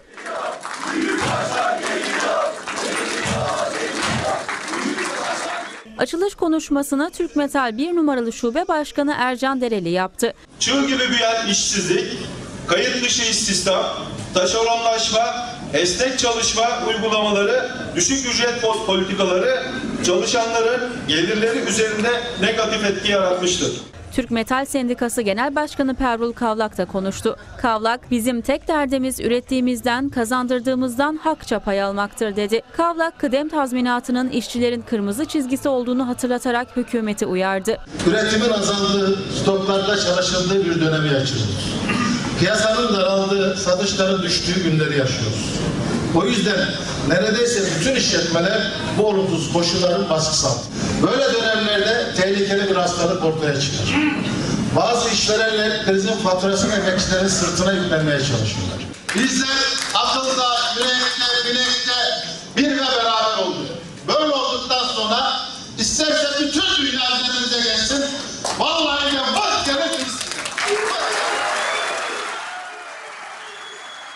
Genel kurula Manisa Yunus Emre Belediye Başkanı Mehmet Çerçi, Manisa Şehzadeler Belediye Başkan Yardımcısı Bilal Demir, Türk İş 3. Bölge Temsilcisi Süleyman Yıldırım, MHP Manisa İl Başkanı Erkan Öztür, Whirlpool Fabrika Direktörü İlyas Kil, Whirlpool Çamaşır Üretim Müdürü Murat Altuntaş, Sanpan Genel Müdürü Orçun Özelmaz, Sarten İK ve İdari İşler Müdürü Ersin Gümüş, Oerlikon İK Müdürü Hediye Sadıkoğlu, MES İzmir Bölge Temsilciliği Hukuk Müşaviri Uygur Bostancı katıldı. Tek aday listesinin olduğu genel kurulda Şube Başkanlığına Ercan Dereli, Şube Sekreterliğine Köksal Gündoğdu, Şube Mali Sekreterliğine Soner Arcan, Şube Teşkilatlandırma Sekreterliğine Ümit Akyolu ve Şube Eğitim Sekreterliğine Esat Hato seçildi. Real ve makro market işçileri gasp edilen hakları için ortak eylem yaptı. Tazminatlarını ödenmeyen işverene tepki gösteren emekçiler yurttaşlara çağrıda bulundu. Bir gece hiçbir hakkımız ödenmeden son bir aylık maaşımızı bile alamadan kapının önüne koymuşlardır. Metro gruba bağlı Real Marketler zincirinin iflas kararı sonrası ortada kalan işçiler bir buçuk yıldır hakları için mücadele ediyor. Hukuki olarak haklı oldukları ortada. Mücadelelerini geçtiğimiz Haziran ayında işten çıkartılan makro market işçileriyle birleştiren Real Market çalışanları Ankara'da toplandı. Metro ve makro patronlarına sesleniyoruz. Hakları için daha önce basın açıklamaları, kasa kilitleme ve oturma eylemi yapan Real ve makro market emekçileri bu kez Ankara'da Nata Vega Alışveriş Merkezi önünde ortak eylem yaptı. Zafer direnen işçilerin olacak.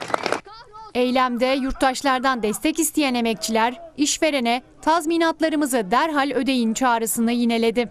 Metro ve makro patronlarına sesleniyoruz.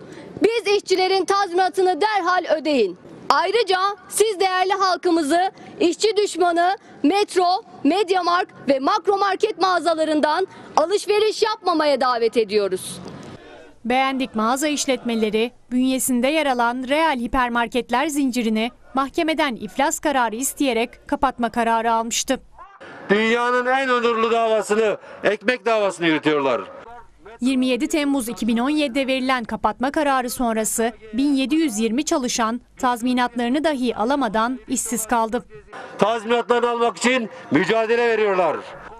Real işçileriyle aynı kaderi paylaşan makro market emekçileri de 27 Ekim 2017 tarihinde ilan edilen konkordato sonrası tazminatları ödenmeden kapının önüne konmuştu. Haklıyız, 30 Temmuz'da beyin kanaması geçiren ve yaklaşık 4 aydır tedavi altında tutulan CHP Edirne Milletvekili Erdin Bircan vefat etti. Üzücü haber üzerine CHP Genel Başkanı Kılıçdaroğlu ve partililer hastane yakın etti. Bircan'ın naaşı bugün Edirne'de toprağa verilecek. İki yıl önce bu kürsüden yaptığım konuşmada Yaklaşık 4 aydır yaşam mücadelesi veriyordum. Yorgun bedeni yenik düştü. CHP Edirne Milletvekili Erdin Bircan tedavi gördüğü hastanede vefat etti. CHP'li Bircan parti çalışması için gittiği Iğdır'da 30 Temmuz'da beyin kanaması geçirmişti. Üzücü haberi oğlu Eren Bircan sosyal medya hesabından duyurdu. Eren paylaşımında 4 aydır süren mücadelede yenik düştük. Onur, gurur ve erdemi bize her gün yaşatan babamız Erdin Bircan'ı kaybettik. Babamızın son yolculuğu büyük sevdası Edirne'de olacaktır ifadelerini kullandı. Bugün bizim acı bir günümüz. 59 yaşındaki Bircan, Atatürkçü Düşünce Derneği ve Beşiktaş Spor Kulübü üyesiydi. Mecliste 25 ve 26. dönemlerde milletvekili olarak görev yapan Bircan, 24 Haziran seçimlerinde de Edirne'den parlamentoya girmeye hak kazanmıştı.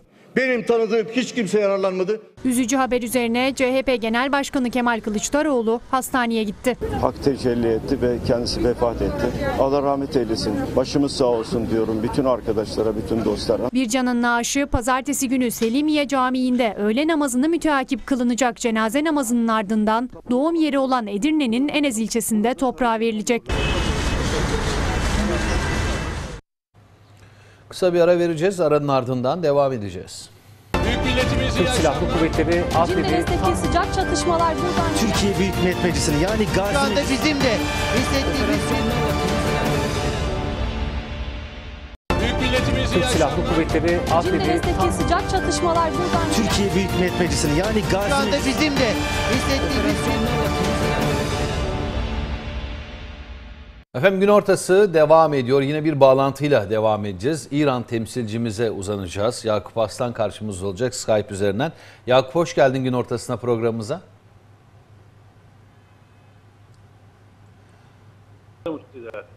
Ee, şimdi İran'da ambargolar ay başında başladı. Ee, yaptırımlar başladı Amerika'nın ama sanki e, çok böyle Amerika'nın istediği gibi gitmiyor gibi geliyor bana. Sen nasıl yorumluyorsun? Yani örneğin e, Irak'la yakınlaştığını görüyoruz. Ee, Irak Cumhurbaşkanı e, İran'ı ziyaret etti. Oradan Riyad'a geçiyor şimdi.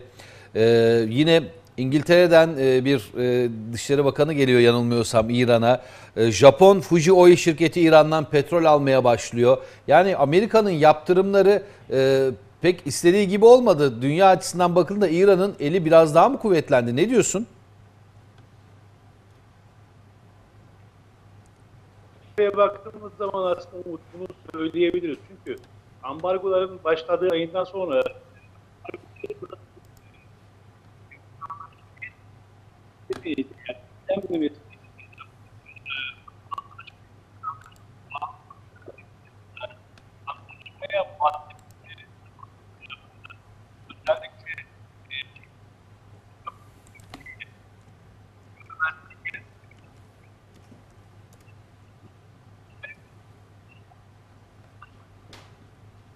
Evet.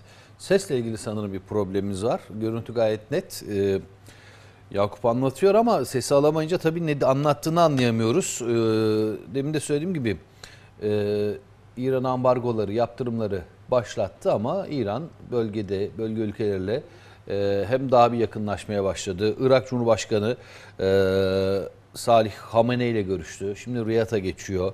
E, iki ülke arasında e, ticaretin, petrol ticaretinin e, bir takas yöntemiyle ya da e, iki e, Irak'la olan ticaretin para bir dinar veya işte takas yö- yöntemiyle olması gündemde. Bunlar konuşuluyor. İngiltere'nin Dışişleri Bakanı İran'a gelecek dedik, gidecek dedik. Ajanslar geçti bu bilgiyi, bu haberi de. İngiltere Dışişleri Bakanı İran'a gidecek. Amerika izole etmeye çalışırken İran'ı daha çok buluşturuyor farklı farklı ülkelerle. Japon Fuji Oil şirketi İran'dan petrol almaya başlıyor. Bu da önemli bir gelişme. Ee, İran'la Türkiye birçok platformda yan yana geliyor. Özellikle e, Suriye'deki sürece ilişkin Astana, e, Astana'da garantör ülkeler İran'la Türkiye malumunuz Rusya ile birlikte. Suriye konu 11. Astana toplantısı yapılacak 28-29 Kasım'da. E, onun öncesinde de İran'da Tahran'da son durumu, havayı, bu konuda yazılan çizilenleri e, birazdan e, Tahran'dan almaya çalışacağız Yakup Aslan'dan. Evet e, haberle devam edelim. Yakup Aslan'la bağlantımızı arkadaşlarım tekrar gözden geçiriyor. Sağlıklı bir bağlantı kurmaya çalışacağız. Bu arada bir son dakika gelişmesi olarak programın başında anons ettik. Az önce de e, yerelde Sabri Kasapoğlu muhabir arkadaşımızla da bir bağlantı e, kurmuştuk. E, Deniz'deki uçak kazasında hayatını yitirenlerin isimleri e, belli oldu. Ee, Evet pilot Hamdi Yılmaz ve öğrenci pilot Merve Altun bu iki isme hali hazırda ulaşılamıyor. Arama kurtarma çalışmaları devam ediyor.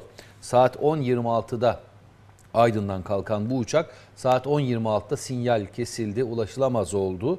Ee, arama kurtarma çalışmaları e, dediğimiz gibi sürüyor. Pilot Hamdi Yılmaz ve öğrenci pilot Merve Altun'a hali hazırda ulaşılabilmiş değil. İsimler e, böyle kayıp isimler.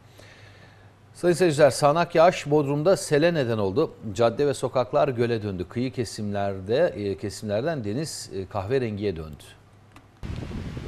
Muğla'nın Bodrum ilçesinde dün başlayan sağanak etkisini sürdürüyor. Aralıksız süren yağışlar nedeniyle ilçe sular altında kaldı.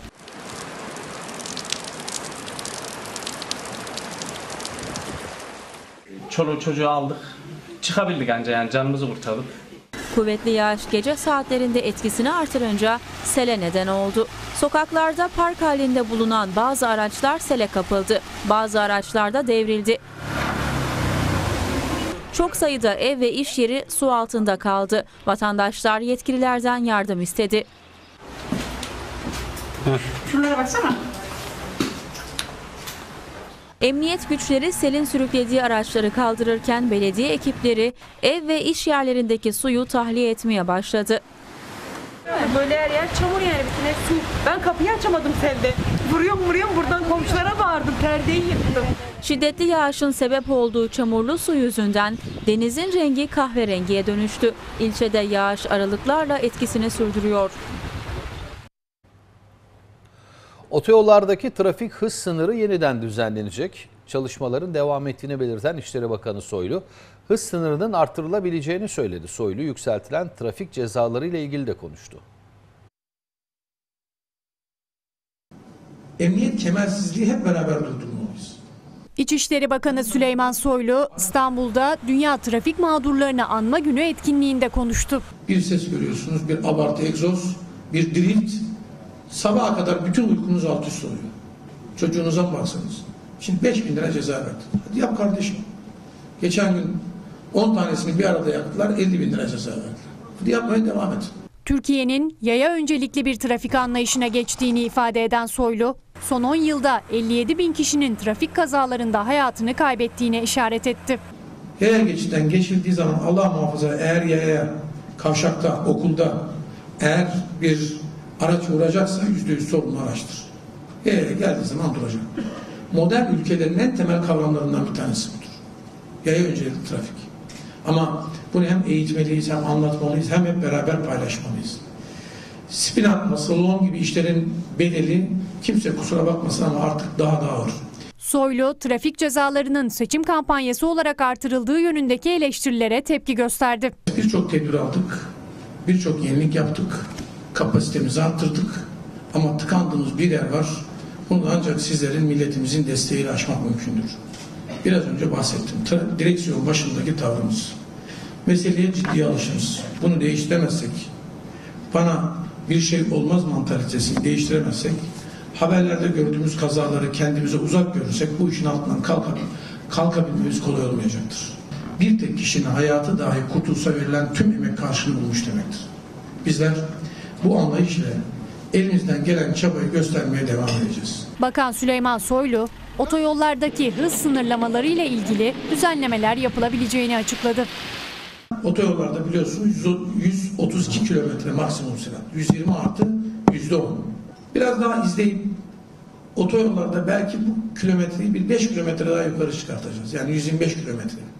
Eğer buradaki e, regülasyonu iyi sağlarsak otoyollarda 120 kilometredir. 125 kilometre %10 daha koyduğunuz zaman 137,5 kilometrelik bir banda taşımaya çalışacağız. Haberleri aktarmayı sürdüreceğiz. Tekrar e, Tahran'a dönelim. İran temsilcimiz Yakup Aslan'a tekrar merhaba diyelim. Yakup selam. İyi yayınlar Muttezeler. Şimdi çok daha net geliyor sesin. Oldukça gür geliyor. Ee, biraz önce sorumu duymuş muydun emin değilim ama yani bu Amerika'nın ha yani e, başlattığı ambargoya rağmen İran bölge ülkeleriyle yakınlaşıyor. Uluslararası ticaretini devam ettiriyor bir şekilde. Japon e, Fuji Oil şirketi İran'dan petrol alacak dedik. E, İngiltere Dışişleri Bakanı Tahran'ı ziyaret edecek. Önemli gelişmeler bunlar. Neler oluyor? Yani ambargolar başladı ay başından bu yana ama bu gelişmeler de oldukça dikkat çekici. Bize neler aktaracaksın? Evet geniş çerçevede baktığımız zaman Umut Tezer aslında Amerika'nın istediği, Amerikan Başkanı Trump'ın istediği e, Tahran'ı yönet, e, yalnızlaştırmaktı. Mayıs ayında e, imzalanan anlaşmadan çekildiğini açıklamıştı. Ağustos ayında ambargoların iki aşamalı ambargonun ilki başladı. Kasım'ın 4'ünde de 4 Kasım tarihinde de ikinci aşama başladı. Temel amaç e, Tahran'ın yalnızlaştırılmasıydı. Hem bölgede hem dünyada ama süreç Mayıs ayından beri Amerika'nın istediği, Washington'ın istediği yönde ilerlemedi. Bunu e, net e, olgularla, somut olgularla görebiliyoruz. Özellikle Avrupa Birliği'nin yoğun bir çabası var İran'la ticaretini devam ettirmek için. Aslında bu iki taraflı hem Amerika'nın e, iki taraflı e, hem İran'la birlikte imzalamış oldukları bir nükleer anlaşma var. E, İngiltere, Fransa e, ve Almanya'nın Avrupa'nın lokomotifi sayabileceğimiz ülkelerin siyasi ve endüstriyel anlamda lokomotif sayabileceğimiz ülkelerin imzalamış olduğu bir anlaşma var bu ve Birleşmiş Milletler e, Atom Enerjisi Kurum yani uluslararası e, kurumların tamamı da İran'ın nükleer anlaşmadan doğan sorumlulukları yerine getirdiğini söylüyor. Hay, hal böylerken hem Avrupa e, bu masadan kalkmak istemiyor. İkinci aşaması da ticaret anlamında 80 milyonluk nüfusu olan bakir bir e, ülkeden söz e, söz ediyoruz. Özellikle bir petrol ülkesinden bahsediyoruz. Hem petrol alımını devam etmek istiyor. Özellikle İspanya üzerinden Avrupa petrol alıyor. Zaten e, ambargolardan muafiyet tanınan 8 ülkeden biri de Avrupa ülkelerine İspanya'ydı. İspanya üzerinden İran petrollerini e, almaya devam ediyor e, Avrupalı muhataplar, Avrupa e, ülkeleri. E, hem de ciddi bir hem otomotiv anlamda hem nükleer anlamda hem e, diğer alanlarda ciddi endüstriyel alanlarda yatırımları söz konusu İran'da. Bu e, bunu da devam ettirmek istiyorlar. Aksi halde Amerika'nın menfaatine olan ya da menfaatine olduğunu düşündüğü siyasi anlamda bu hamle Avrupa'ya da zarar vermiş oluyor. Özellikle Fransa'nın, Almanya'nın e, bu duruma karşı çıktığını biliyoruz ki bugün de İngiltere Dışişleri Bakanı Tahran'da Tahran'ı ziyaret etti. E, Şu dakikalarda Dışişleri Bakanı Cevat Zarif'le görüşmeleri var. İlerleyen dakikalarda da İran Milli Güvenlik Konseyi Başkanı, Genel Sekreteri Ali Şamhani ile bir araya gelecek. İngiliz, İngiliz Dışişleri Bakanı.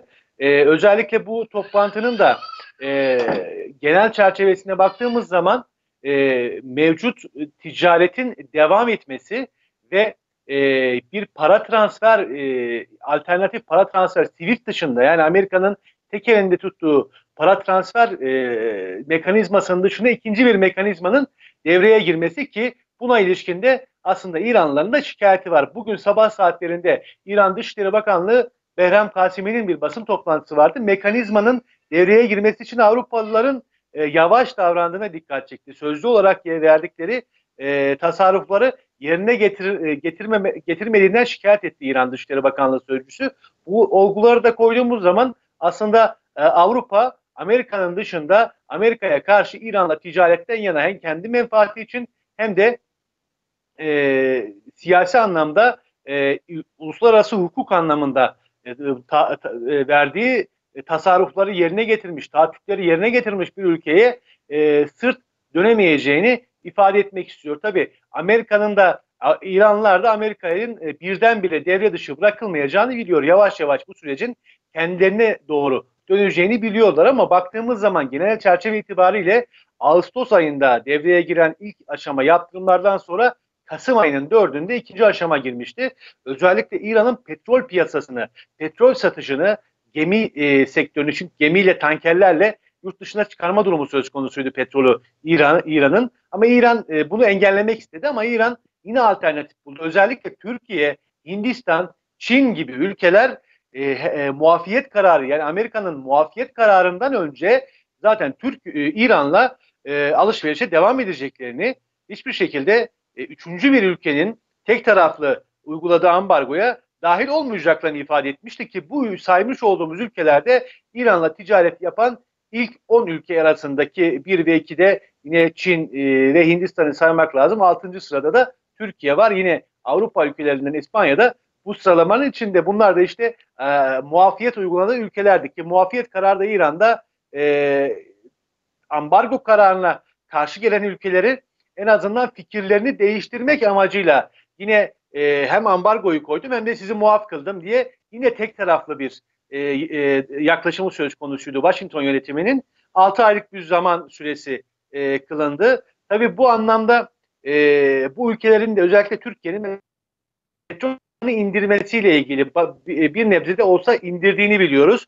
E, hem her iki tarafı da e, dengeli bir şekilde e, süreci götürmek şeklinde de yorumlandı. E, Amerika'ya taviz şeklinde de yorumlayan, yorumlayan oldu. Ankara'nın Amerika'ya tavizi şeklinde de yorumlayanlar oldu ama her iki ülkeye de e, bir diplomasi e, denge politikası izlemek izleme sorumluluğunda e, olduğunu söylediler. Özellikle Ankara'nın Tahran'da Ankara için yapılan yorumlar buydu ki Ankara ile birlikte Bağdat da önemli bir ticari partner İran için. Irak'ın başke, e, başkenti Bağdat üzerinden de petrol sevkiyatı devam ediyor. Burada öngörülen, İran'da öngörülen de Irak kendi petrolünü yurt dışına satacak.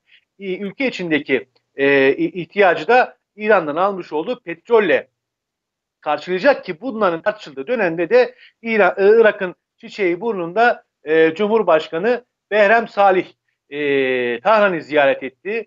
Burada e, Cumhurbaşkanı Cumhurbaşkanı ile görüştü, Hasan Ruhani ile görüştü. Ardından İran siyasi ve dini anlamda en yüksek makam, makamı olan e, Ayetullah Seyyid Ali Hamane ile bir görüşme yaptı. e, geniş bir heyetle gelmişti. İktisadi anlamda hem mal takasıyla hem de e, mal takasıyla ticaretin devam edeceği, e, aradan da ticarette de iki ülke arasında e, milli paralarla e, alışverişin başlaması, bir an önce başlaması için altyapı hazırlıklarının da sona gelindiği de ilan edildi. Bu çok önemli. Tekrar edelim.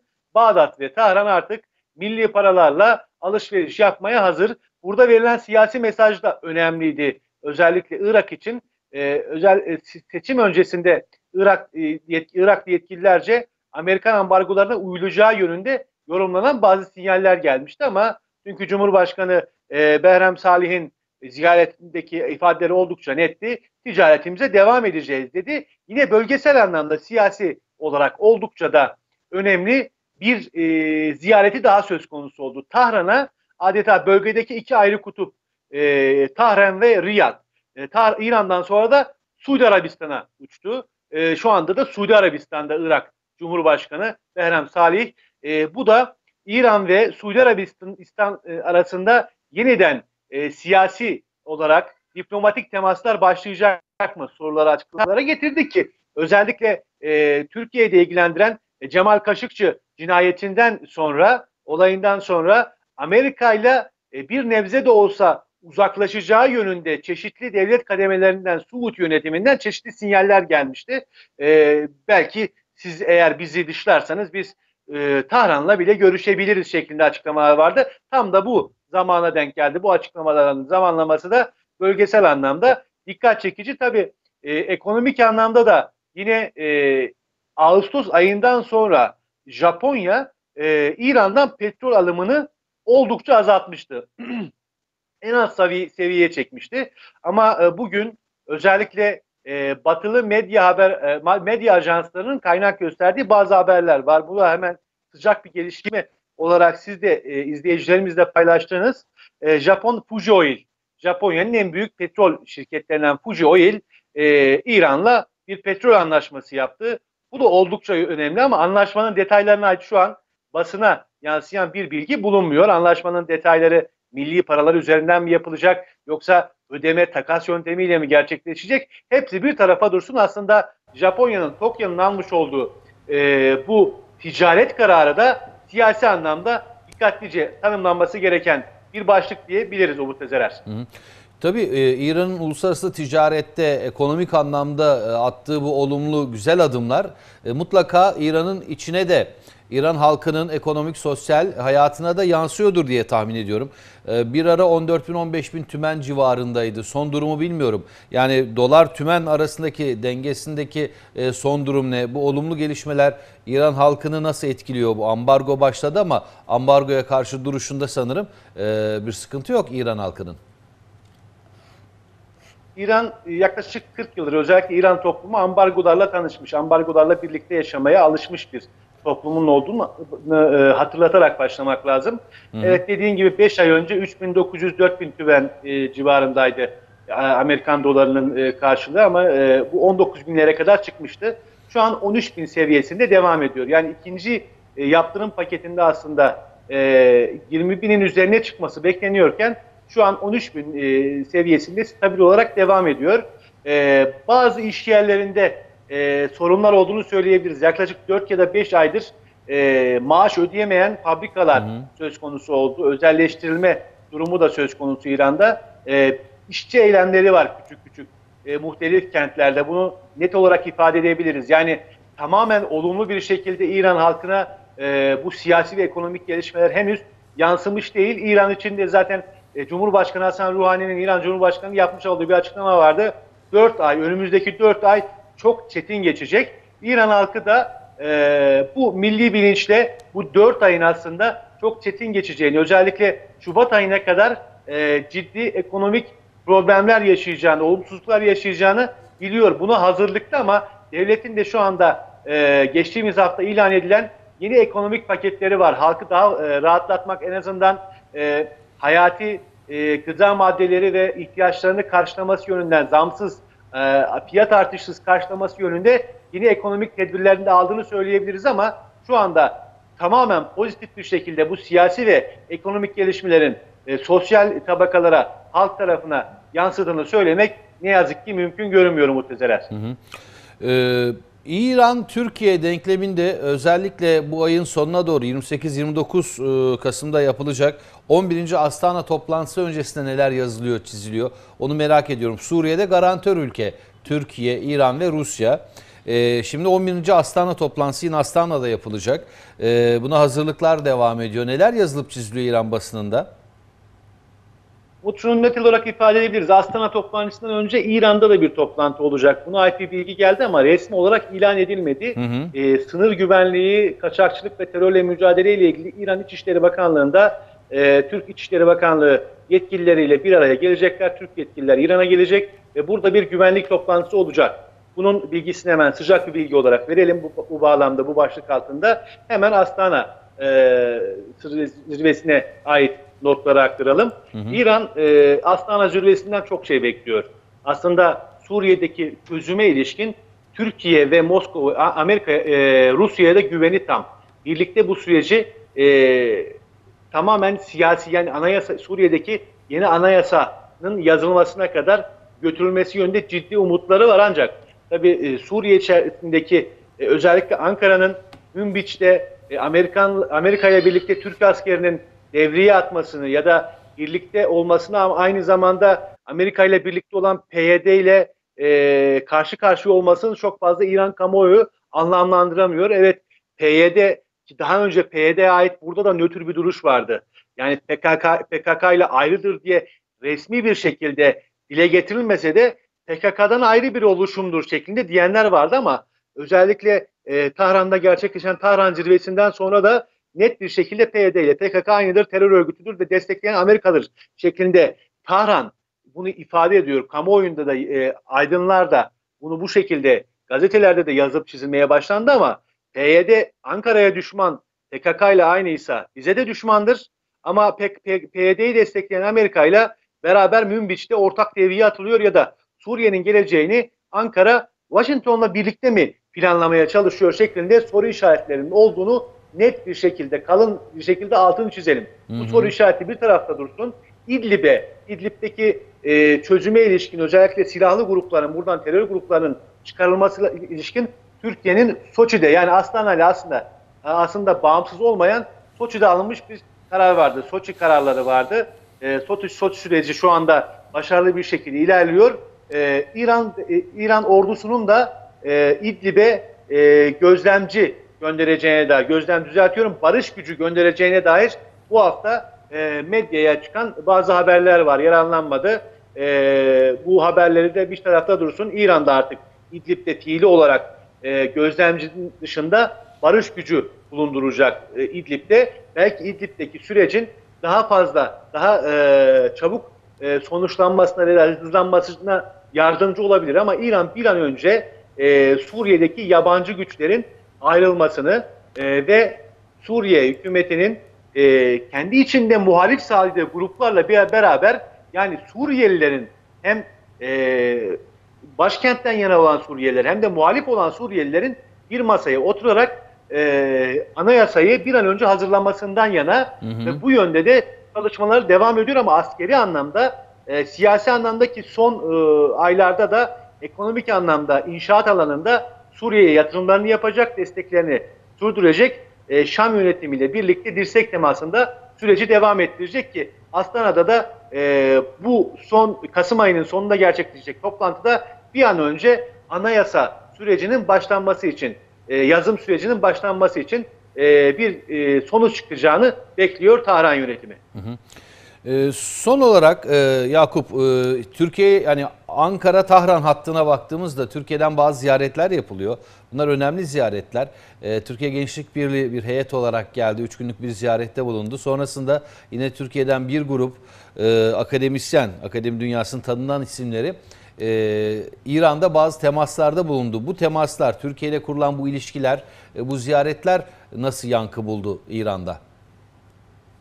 Oldukça önemli e, Umut Tezerer. Bunun altını çizmekte fayda var. Özellikle resmi görüşlerin dışında düşünce kuruluşlarının, akademi dünyasının, sivil toplum kuruluşlarının e, İran, e, Tahran'la birlikte olduğunu, Hı hı. ambargolara karşı e, Tahran'la Tahran'la gönül birliği yaptığını ilan etmesi bile İran için, İran için ayrıca bir anlam taşıyor. Çünkü resmi açıklar, açıklamalar devletlerin e, menfaatleri üzerinedir. Hükümetlerin kendi belki iç siyasetlerindeki menfaatlerini de gözeterek yapılabilir resmi açıklamalar ama burada özellikle Türkiye'nin en büyük gençlik örgütü Türkiye Gençlik Birliği'nin İran'a yapmış olduğu ziyaret oldukça anlamlı bulundu. Burada e, akademisyenlerle bir araya geldiler. Üniversitelerle eğitim anlaşmalarını imzalamak imzalayacak seviyede görüşmeler yaptılar.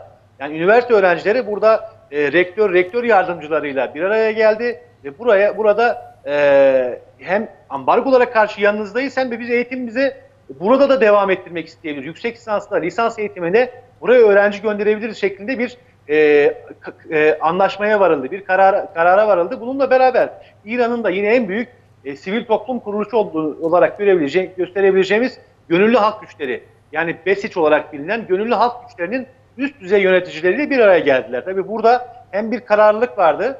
Yani siz yan, siz e, emperyalizm ve siyonizm sizi yalnızlaştırmaya çalışıyor. Biz onlara inat sizin yanınızdayız. Gerekirse eğitimimizle de burada devam ederiz. Buradan öğrenciler de gelir orada bizimle eğitimle devam eder ve e, batıya, düşmanlarınıza, ortak düşmanımıza bir e, mesaj vermiş oluruz dedi Türkiye Gençlik Birliği yöneticileri. Bu da burada oldukça olumlu karşılan, karşılandı. Bunun yanı sıra da tabii akademi dünyasının Türkiye'de önemli isimleri. 9 kişilik bir heyet Hı hı. e, yaklaşık 5 gündür İran'dalar. Önce Tebriz'deydiler. Tebriz'de temaslarda bulundular. Bugün de zannediyorum şu dakikalarda Tahran Üniversitesi'nde bir Türkoloji Enstitüsü açılması için bir hazırlık var. Buna ait çalışmalar gerçekleştiriyorlar. E, emperyalizmin e, emperyalizmin hem e, İran'a hem de bölgeye karşı saldırılarına e, dur diyebilecek bir e, e, fikirle geldi aslında bu akademik heyet. Batı Asya Birliği ile geldi. E, İranlılar tarafında da o tarafından da oldukça e, olumlu karşılandı. Çünkü e, Saadat Saat diye bir e, daha önce bir birlik vardı, ittihat e, vardı. E, özellikle Türkiye, Suriye, Irak ve İran'ı kapsayan e, 2007'deki Suriye olaylarından sonra Türkiye'nin çekilmesiyle birlikte e, bu birliktelik, e, bu ekonomik ve siyasi birliğe ilerlemesinin önü kesilmiş oldu.